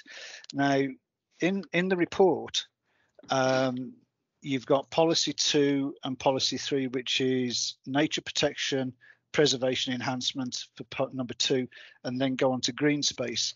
Now, I've had a particular um, knowledge and concern about our marine environment. Now, the bullet points. Um, I mean, the first, the, I will say the first paragraph on policy two sums it up in a nutshell, but the bullet points underneath are all land-based bullet points the, I've looked through this um, draft again, and the, there's nothing to do with the blue space. Now, if you look at the Black Isle, 80% of our of the Black Isle is bounded by water. We have a, our communities have a sea border, and then when you move into Nairn and across that side, they have a sea border. Um, so I think we should actually have an additional space there, an additional policy, if you like, policy 2A would be called blue space, and that would pick up the OSPA areas, Ramsar, triple SI sites, uh, the SAC. There's a proposed marine uh, protected area, and also to include the aquaculture supplementary planning guidance, because we have uh, businesses, especially in Cromarty, that are now looking at using the marine environment for sustainable development and jobs. And that would work very, very well with what's been discussed at, at COP22. And other commentators have men- mentioned about the carbon capture of our sea, our seabed and our, our sea environment. And I would actually like to see something firmed up and actually uh, a proper comment in there, bringing in the relevant officers to have the marine environment included in this Inner Moray Firth local development plan. I don't think that would be without the brief uh, that you have here, because the brief is, as I'm reading it, is 99% land-based, and rightly so. But we need to take cognizance of the marine environment, especially for those communities that have a marine border, a sea border with our development area. And I'd like to have your thoughts on that and what would be the the right way to or the appropriate time to to get that worked up to come into a discussion process within the Inner Moray Firth local development plan. Thanks, Craig. I mean, this is particularly apt because of everything that's happening or potentially happening within the Cromarty Firth, where there, could well be a, a, clash between industrial and and, and, other development. Uh, yeah, Tim, what, what what are your thoughts on that? Okay, uh, it isn't easy, I'm afraid. Uh, the local development plans are allowed to control development down to low watermark, but that's it. So the um, I don't think the government would allow us to take forward a, a local development plan which had policies and proposals for anything below low watermark. I mean, there is a a, a national marine plan, and I think there are meant to be regional marine plans as well.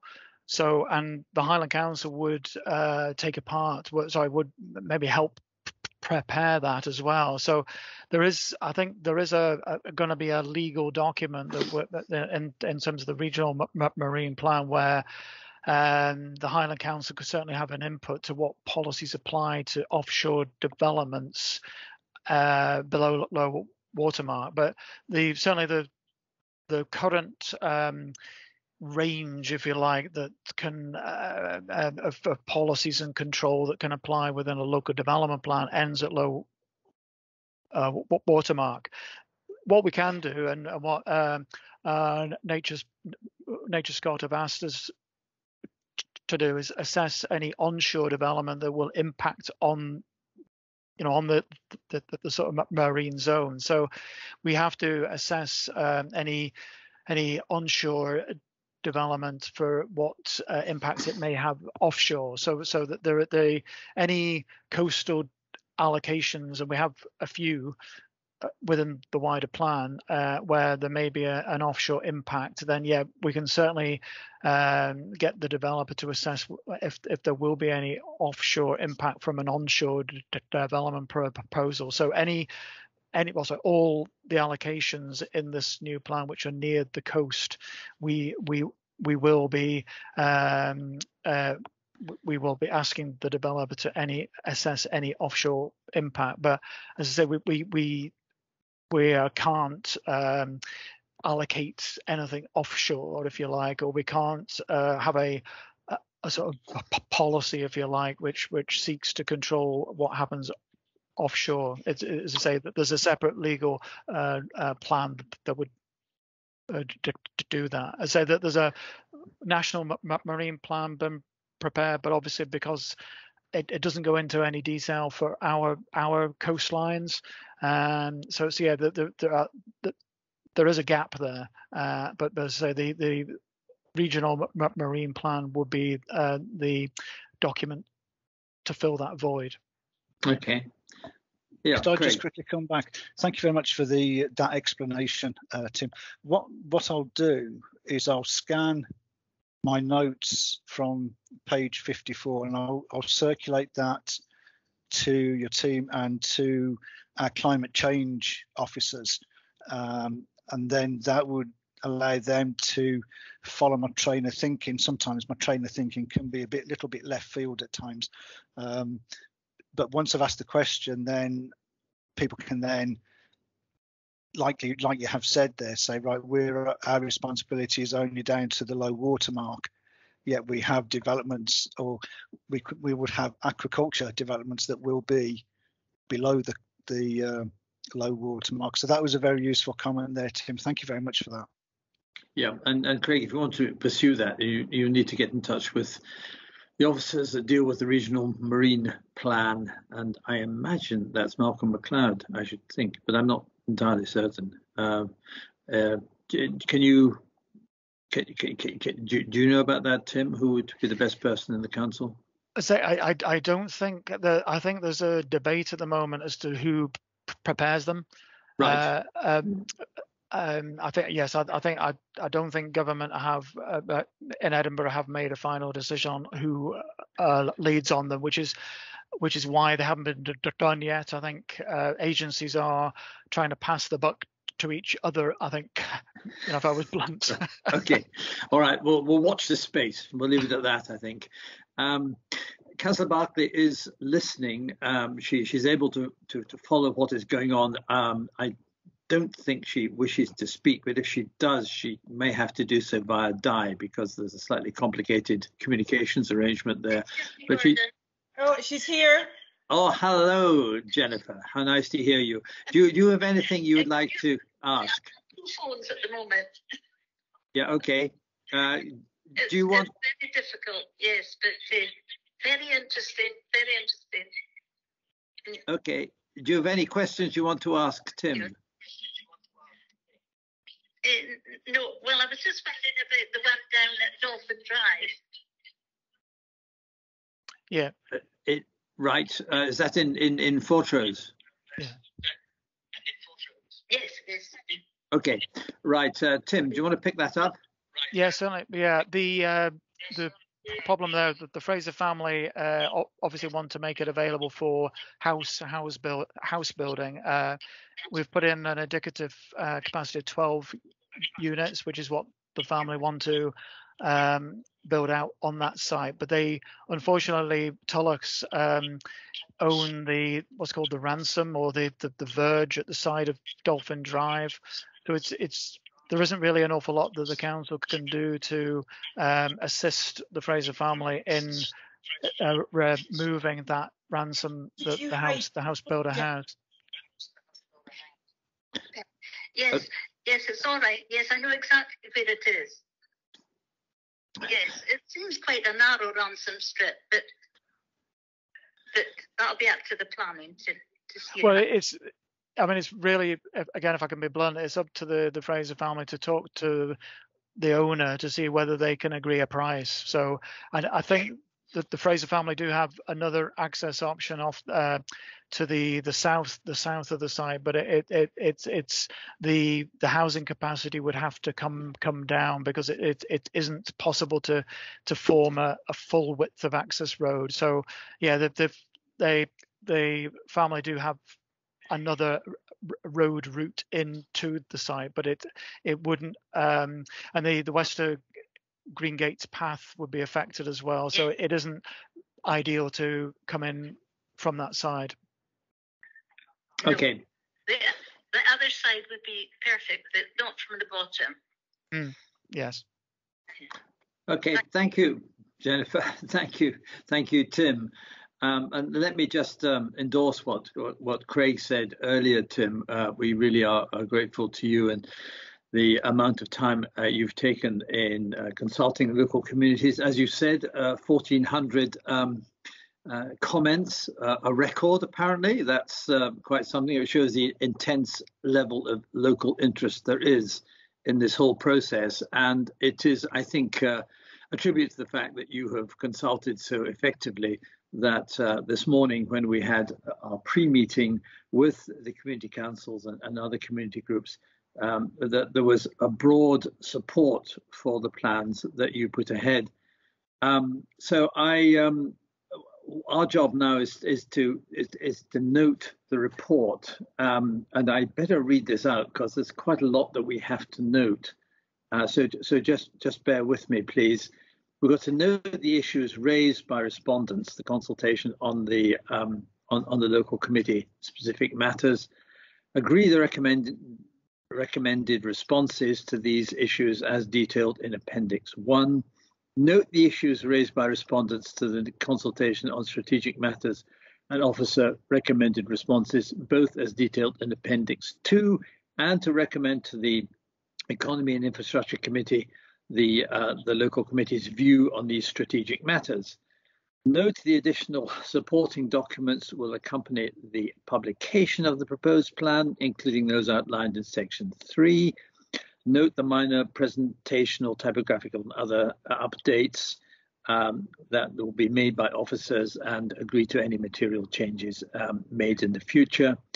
Um, and in line with government guidance, to agree for the published Inner Firth local, proposed local development plan to be treated as a material planning consideration in making planning decisions and providing advice, and agree the approach to consultation outlined in section seven of this report. Um, uh, members, are, are, we are we happy to note all of that and to agree with the recommendations? Well, I, I can see Craig nodding, and I'm happy, and I, I you are too. That's fine. Okay. Thank you. Okay. Thanks very much indeed. And thanks to you, Tim. Thank you. Bye. Good luck with the rest of the work involved in this. Thanks. Bye. okay. Bye-bye. Um, right. I think we go on to coastal communities. I'm spooling through this immense report to try and find the right place. Um, and I believe that um, yeah, basically it's the assessment of applications. Um, and I think, is Fiona with us or is it Sarah who's with us? Sarah, hello Sarah. Hi, thanks Chair and morning members. Um, so we just have the one application going forward for consideration today and that is from Ferintosh Community Hall um, for support towards improving the energy efficiency of the hall. Um, works include building work to form a false ceiling for the installation of roof insulation, electrical works and finishing decoration along with architectural uh, fees. Um, the applicant has stated that the poor heating efficiency is currently limiting the use of the building. Um, so to go through the technical assessment um, provided with the application, um, it generally scored well throughout the technical assessment. Um, however, there are a couple of sections where the project scored lower. Uh, the first being project robustness. Um, so for the project costs, um, three quotations have been provided, um, but the quotes date back to November 2020, meaning that the project costs given in the application are out of date. Um, the applicant has estimated that the given cost may have risen by approximately 10,000 since the, the quotes um, were given on the basis that material costs um, are currently around about 150% higher um, than this time last year. Um, the applicant has 11,000 match funding in place. However, the current shortfall with the current shortfall and the increase in materials, the applicant may have to source around uh, 14,000 additional match funding. Um, the applicant is looking for match funders and is currently in the process of submitting applications to the landfill tax fund and SSE. Um, under engagement and support, it's been uh, given a lower score there just on the basis that um, they haven't provided any evidence of commu community engagement and usually what we'd like to see there are letters of support. And just to highlight as well that the applicant doesn't currently have an equal opportunities policy in place, so that's been added as a condition of grant. And it's also been stipulated as a pre-start condition that match funding is to be confirmed before the, the works begin. Um, and members should also note that the request of £10,380 exceeds that available as there's only £6,557 91 pence remaining in the Black Isle budget. Thank you, Sarah. Um, right. Um, okay. Look, I, I, just need a little, a little um, um clarification on that last point. Um, we have only six thousand left in our budget, and they require 10,000 roughly. Uh, well, they, they, require rather more than that because of the increased costs.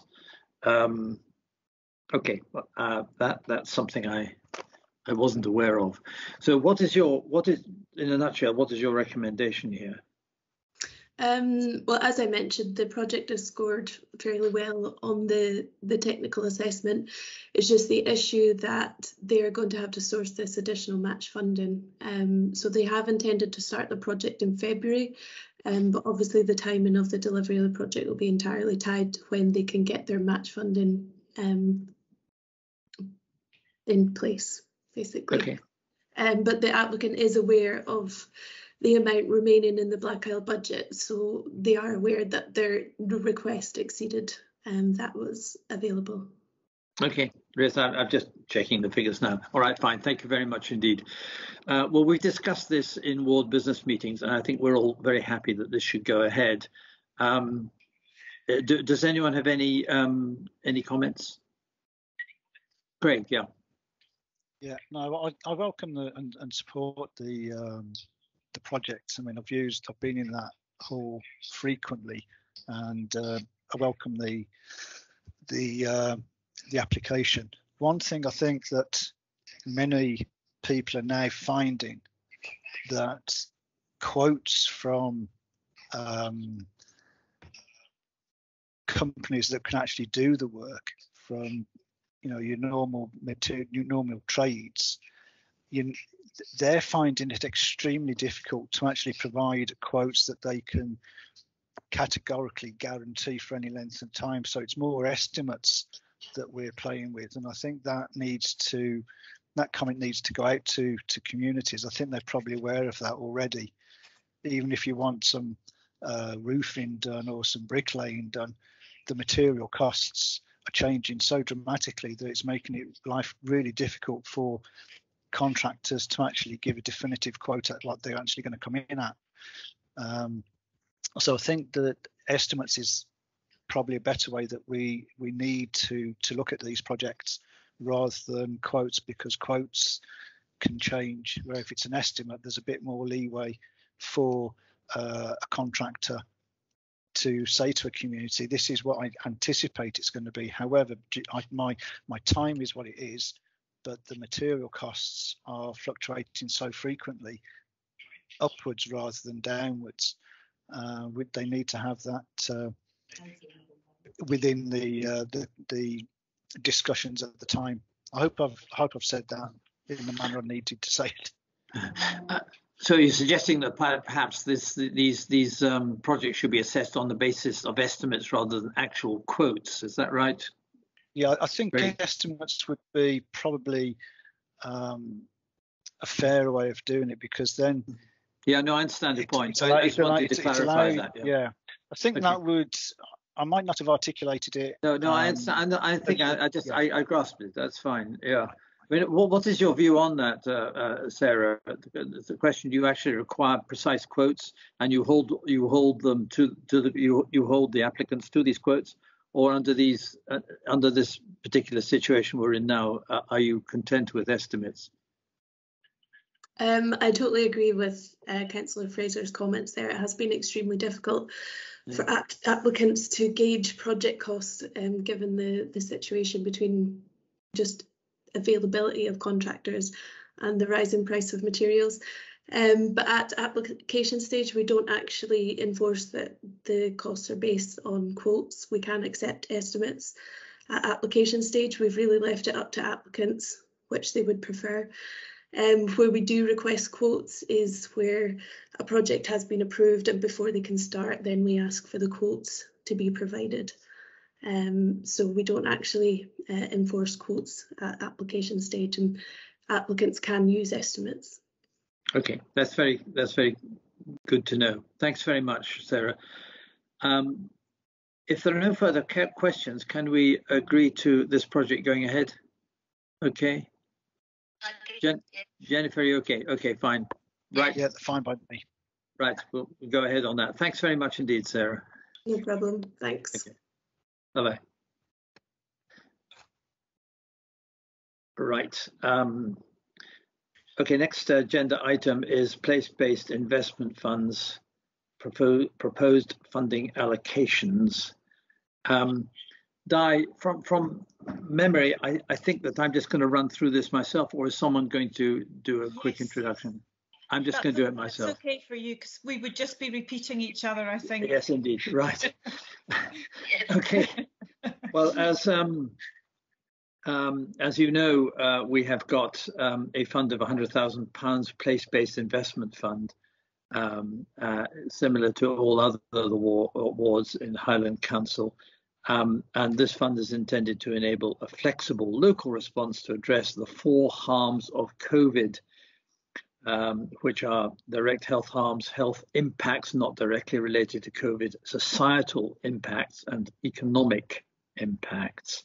Now, how we uh, we discussed this in a Ward Business meeting, and um, the uh, decisions we came up with was that uh, the 20,000 uh, we divided with 20,000 pounds for mental health and well-being, 25,000 pounds for community spaces, uh, 25,000 pounds to establish a grant fund for investment in community-led projects to address the four harms, and 30,000 pounds to support sustainable economic recovery. Um, and the way that we um, we we decided to allocate the money was for 20,000 pounds for mental health and well-being, with a particular focus on younger people, older people, and disabled people to reduce um, increased feelings of anxiety and soci- so- social isolation. And this funding will be delegated to the Fortrose Academy Black Isle Wellbeing Group, uh, which has got a proven track record in working with both older people and younger people and intergenerational work. Um, it's already up and running. It could go to scale with the help of this additional funding uh, very quickly. Um, and we felt this was the, the most uh, effective use of, of, of, this money.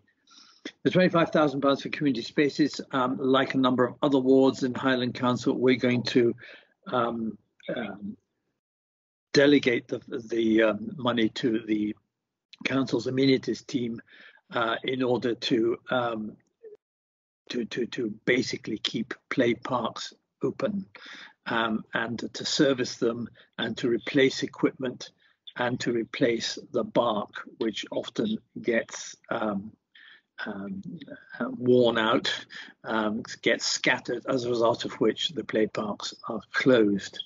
Um, there is additional money for this work, but um, it's never going to be enough to, um, to, to, to satisfy the need. So we felt this was an appropriate use of the funds particularly because uh, these play parks are um, of great value uh, in, in, this in this time of COVID. It gets people out and it gets them playing uh, in a safe environment. Uh, the £25,000 to establish a grant fund. It, we're going to establish a grant fund to, for investment in community-led projects to address the four harms of COVID. And details of that will be forthcoming and it will be possible for community groups to apply for that funding, which through the usual um, uh, ward discretionary fund process. And the fourth one is the £30,000 for sustainable economic recovery. And that's to address how the pandemic has, has impacted on the economic recovery, including tourism, training, and employment. Um, we're going to consider this further, and a, um, a, a, a proposal will be considered at the next meeting of the area committee in February.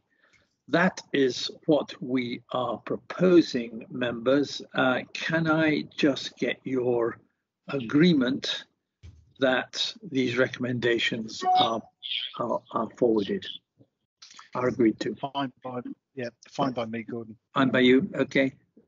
Okay with you, Jennifer. Right by me, eh, Gordon. Okay, Fine thanks very much indeed. Right, thank you. Um, right, now we turn to the um, common good funds. Di, would you like to pick up the reins at this point? Good afternoon, members. Uh, the Cromarty Common Good Fund Quarter Two Monitoring Report. Members have the uh, Quarter Two Monitoring Report in front of them, along with the appendix showing the monies and the income less expenditure. Um, I expect to come in on, on budget um, and the extra income that we've still got to take in should show within the next two quarters. So um, I just ask members to scrutinise and note the quarter two monitoring statement for the Cromarty Common Good Fund. Okay. Yeah, yeah, Happy fine with that? me. Okay, thank you. Yes, Okay. Um, Jennifer said okay as well. right, fine. Um, the- Sorry, I'm on two phones. Yes.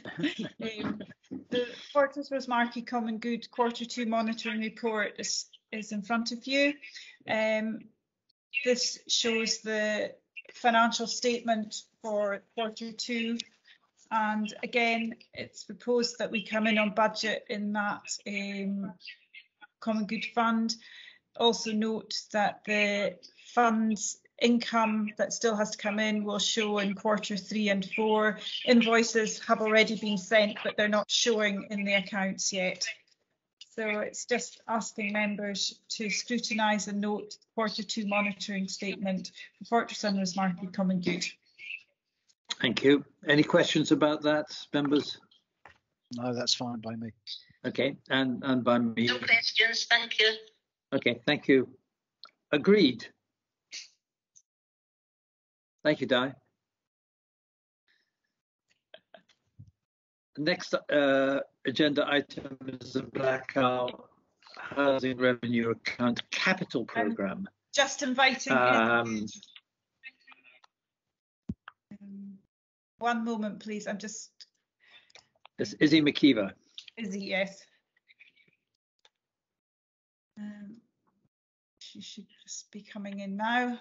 Sorry about the delay. I've got phones in one hand and reports Yes, well- other and Teams. Thank you for coping with the communications challenges. it's worked out remarkably well, all things considered. Izzy Uh, will be joining us any second now. Right, fine.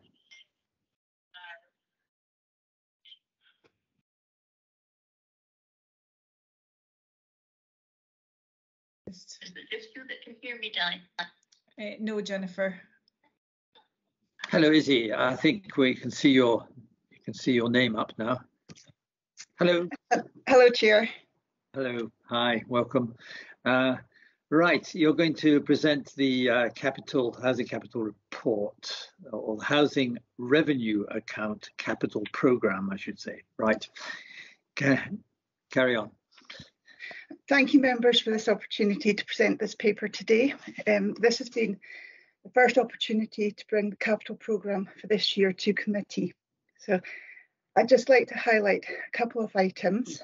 Um, section 5 outlines the principles that are followed in putting the programme together and the resources available, available to the area.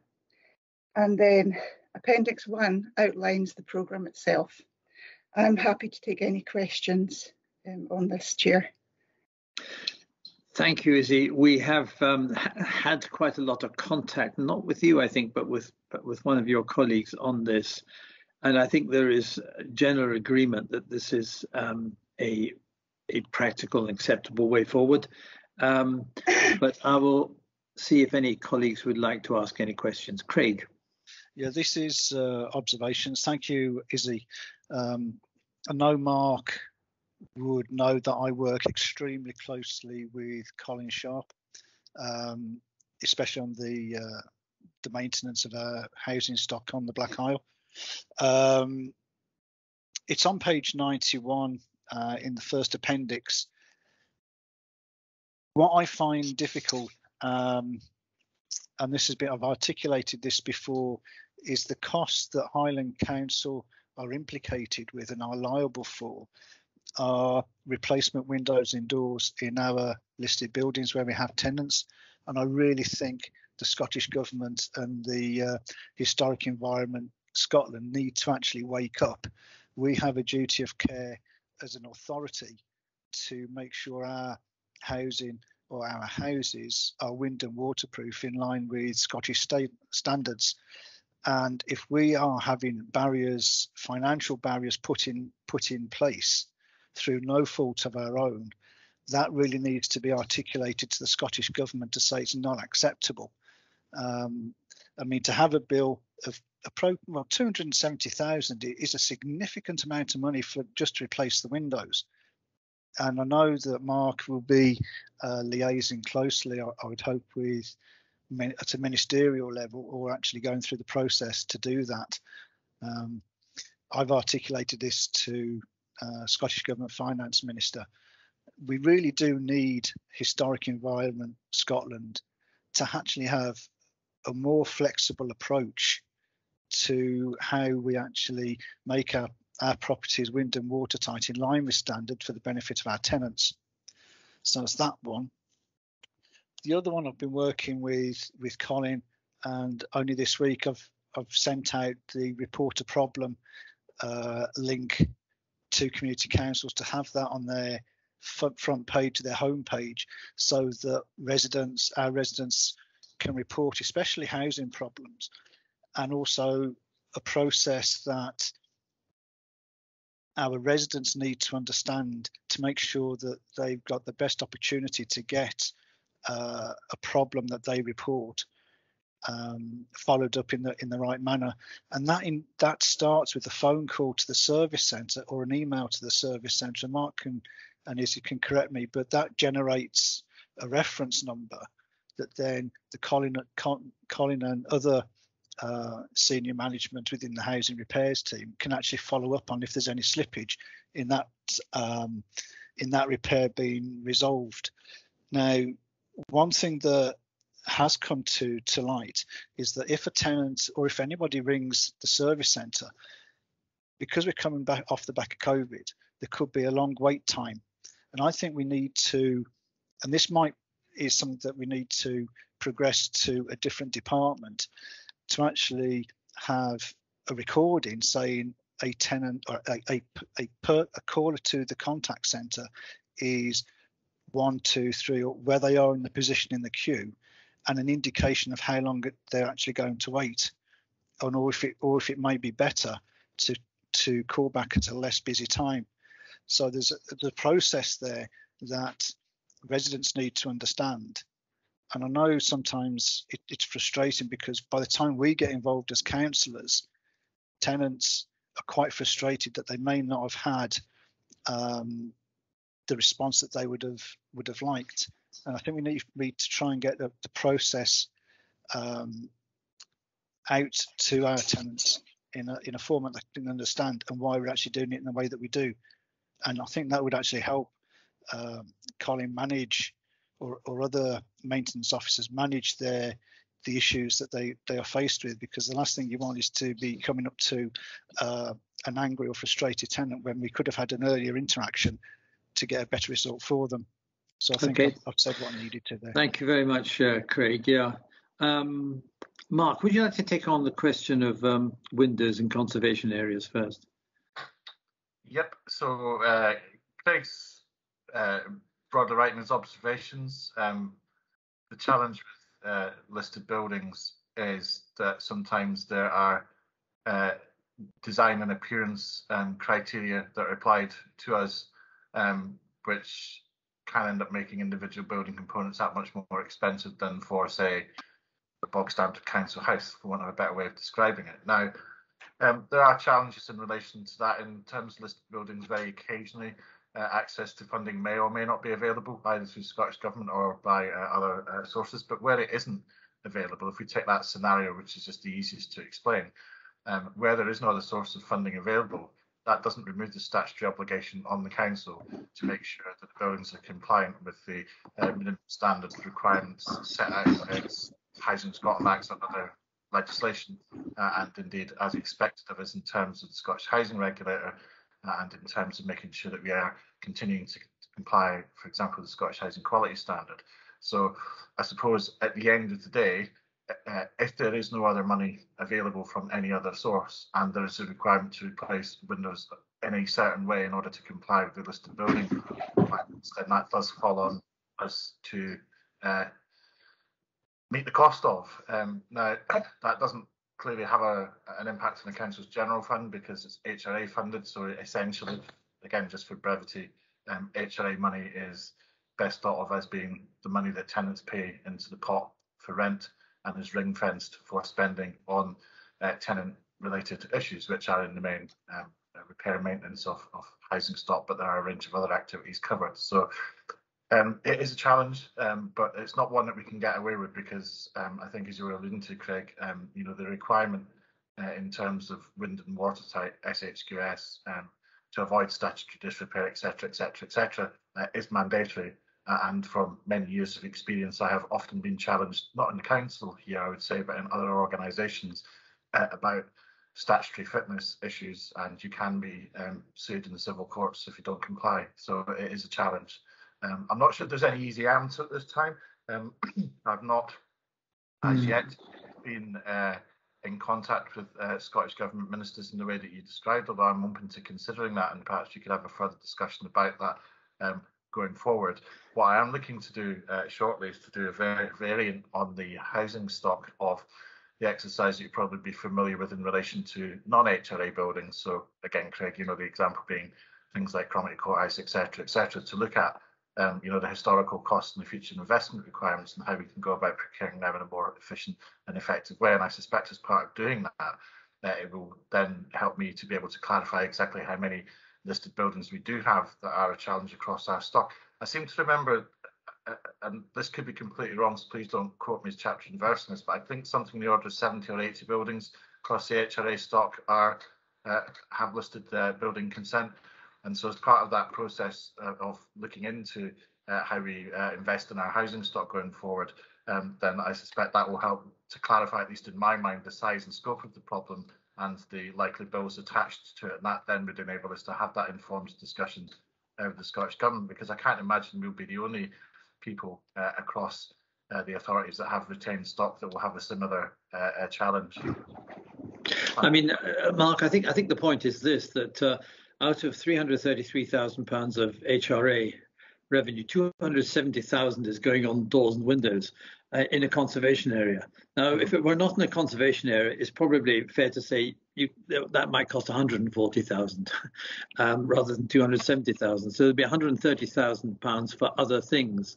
Um, and I think Craig's point is, why should we paying for this extra stuff? You could you could make the windows and doors perfectly acceptable, watertight, and all the rest of it, but uh, they wouldn't be appropriate for the particular kind of building. And so the aesthetic um, added value should perhaps be paid for by an outside um, funding source. I think that's the real point. I mean, is there any precedent for doing this? Because it's it, it's an interesting one. It, it really hugely impacts on the amount of money we have to spend out of a very limited pot. I'm sympathetic to the point made. Um, clearly, there's a there's an opportunity cost for spending uh, uh, more money on a particular type of building than otherwise would be the case. I don't know. Um, is it? Do you know roughly how many units are covered by that spend? The entire contract represents 19 properties, of which that there's eight in Marine Terrace and Cromarty, so eight listed ones. So, so, so 270,000 pounds are being spent on eight properties. Is that right? to no, replace um, windows? Um, on 19 altogether. 19. There, okay. There's um, 11 properties in um, Gowans Place in Avoch is also part of the contract. Right. Okay. I'm with you. Right. Fine. So I suppose uh, the question that's being asked is, is sorry, Gordon, um, is, is there a disproportionate cost impact on the yeah exactly exactly non-listed? That's what it comes down to, isn't it? Mm. Are you able to advise us on that, Izzy?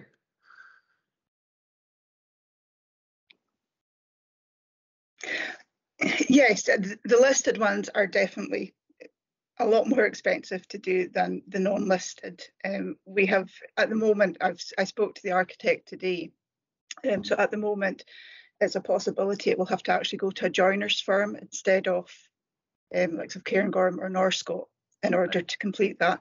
We've also got the additional the, the time implications that it takes as well. The additional minimum of eight weeks yeah. for it to go to planning consent.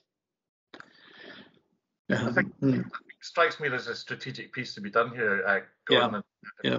Maybe say when he when he comes in in a second uh, across the piece of all the housing stock that we have and the stuff that is listed to look at, for example, by building component, what the cost differential is. You know, i.e., standard mm. price of mm. components as opposed to additional costs incurred through a building being listed and the particular requirements that are placed on us as a consequence of that, and then to use that as the basis for conversation with colleagues elsewhere across Scotland who have listed stock uh, to build that picture pursuant to having a discussion uh, with the Scottish Government. Uh, I don't want to sound overly cynical. I'm not allowed to be political, as you know, as a politically restricted officer, but I doubt they're going to want to volunteer uh, to uh, pay additional monies uh, to us at a government level. It's certainly not been the case, generally speaking, in the past. In the main, they will say that that is the that's the price you pay for having a listed building. You still have yeah. your operations, but it's worth asking. It's definitely I mean, It'd be worth asking Edinburgh, for instance. They must have a number of properties in this category. I'd have thought. Yeah, uh, Craig, sorry. Yeah. Yeah, uh, it's 72 properties because I asked the question at full council. So I just did uh, a rough rule of thumb: 100 pound, 100,000 per property. Some will be more, some will be less, and that'll give you a rough rule of thumb. And um, housing chair said in my supplementary that he would be looking to bring uh, a comprehensive report back to the the housing and property committee. So that will be landing on your desk, and you'll be so pleased, Mark.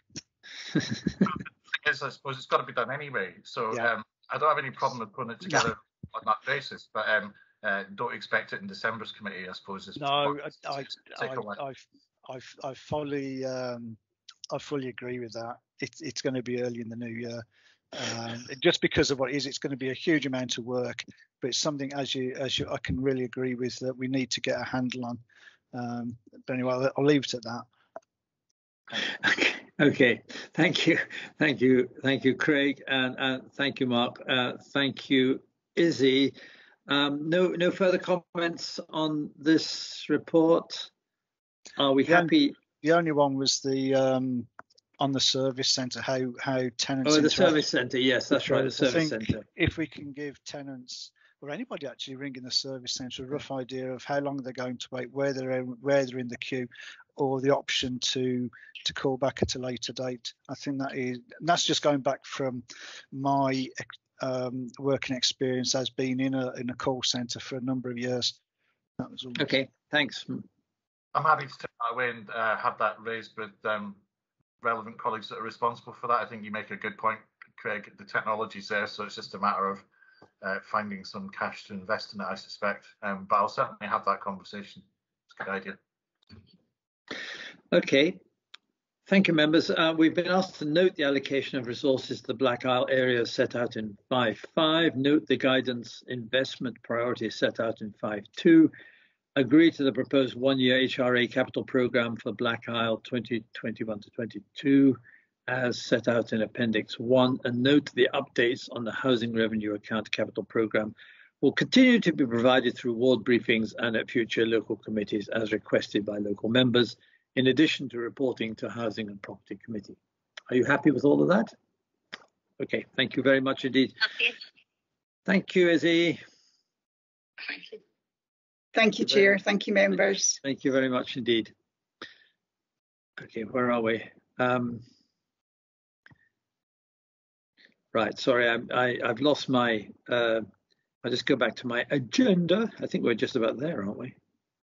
Uh, right, let's just see. That was the last one on the agenda. That was the last one. okay, fine. Uh, yes, it was indeed. Minutes, well, minutes have been agreed in any case, so that's fine. Right. Um, Di, keep me right here. Is there anything else I should be talking about? I don't think so. I think that's you completed the agenda. Okay, thank you. Well, thank you all very much indeed.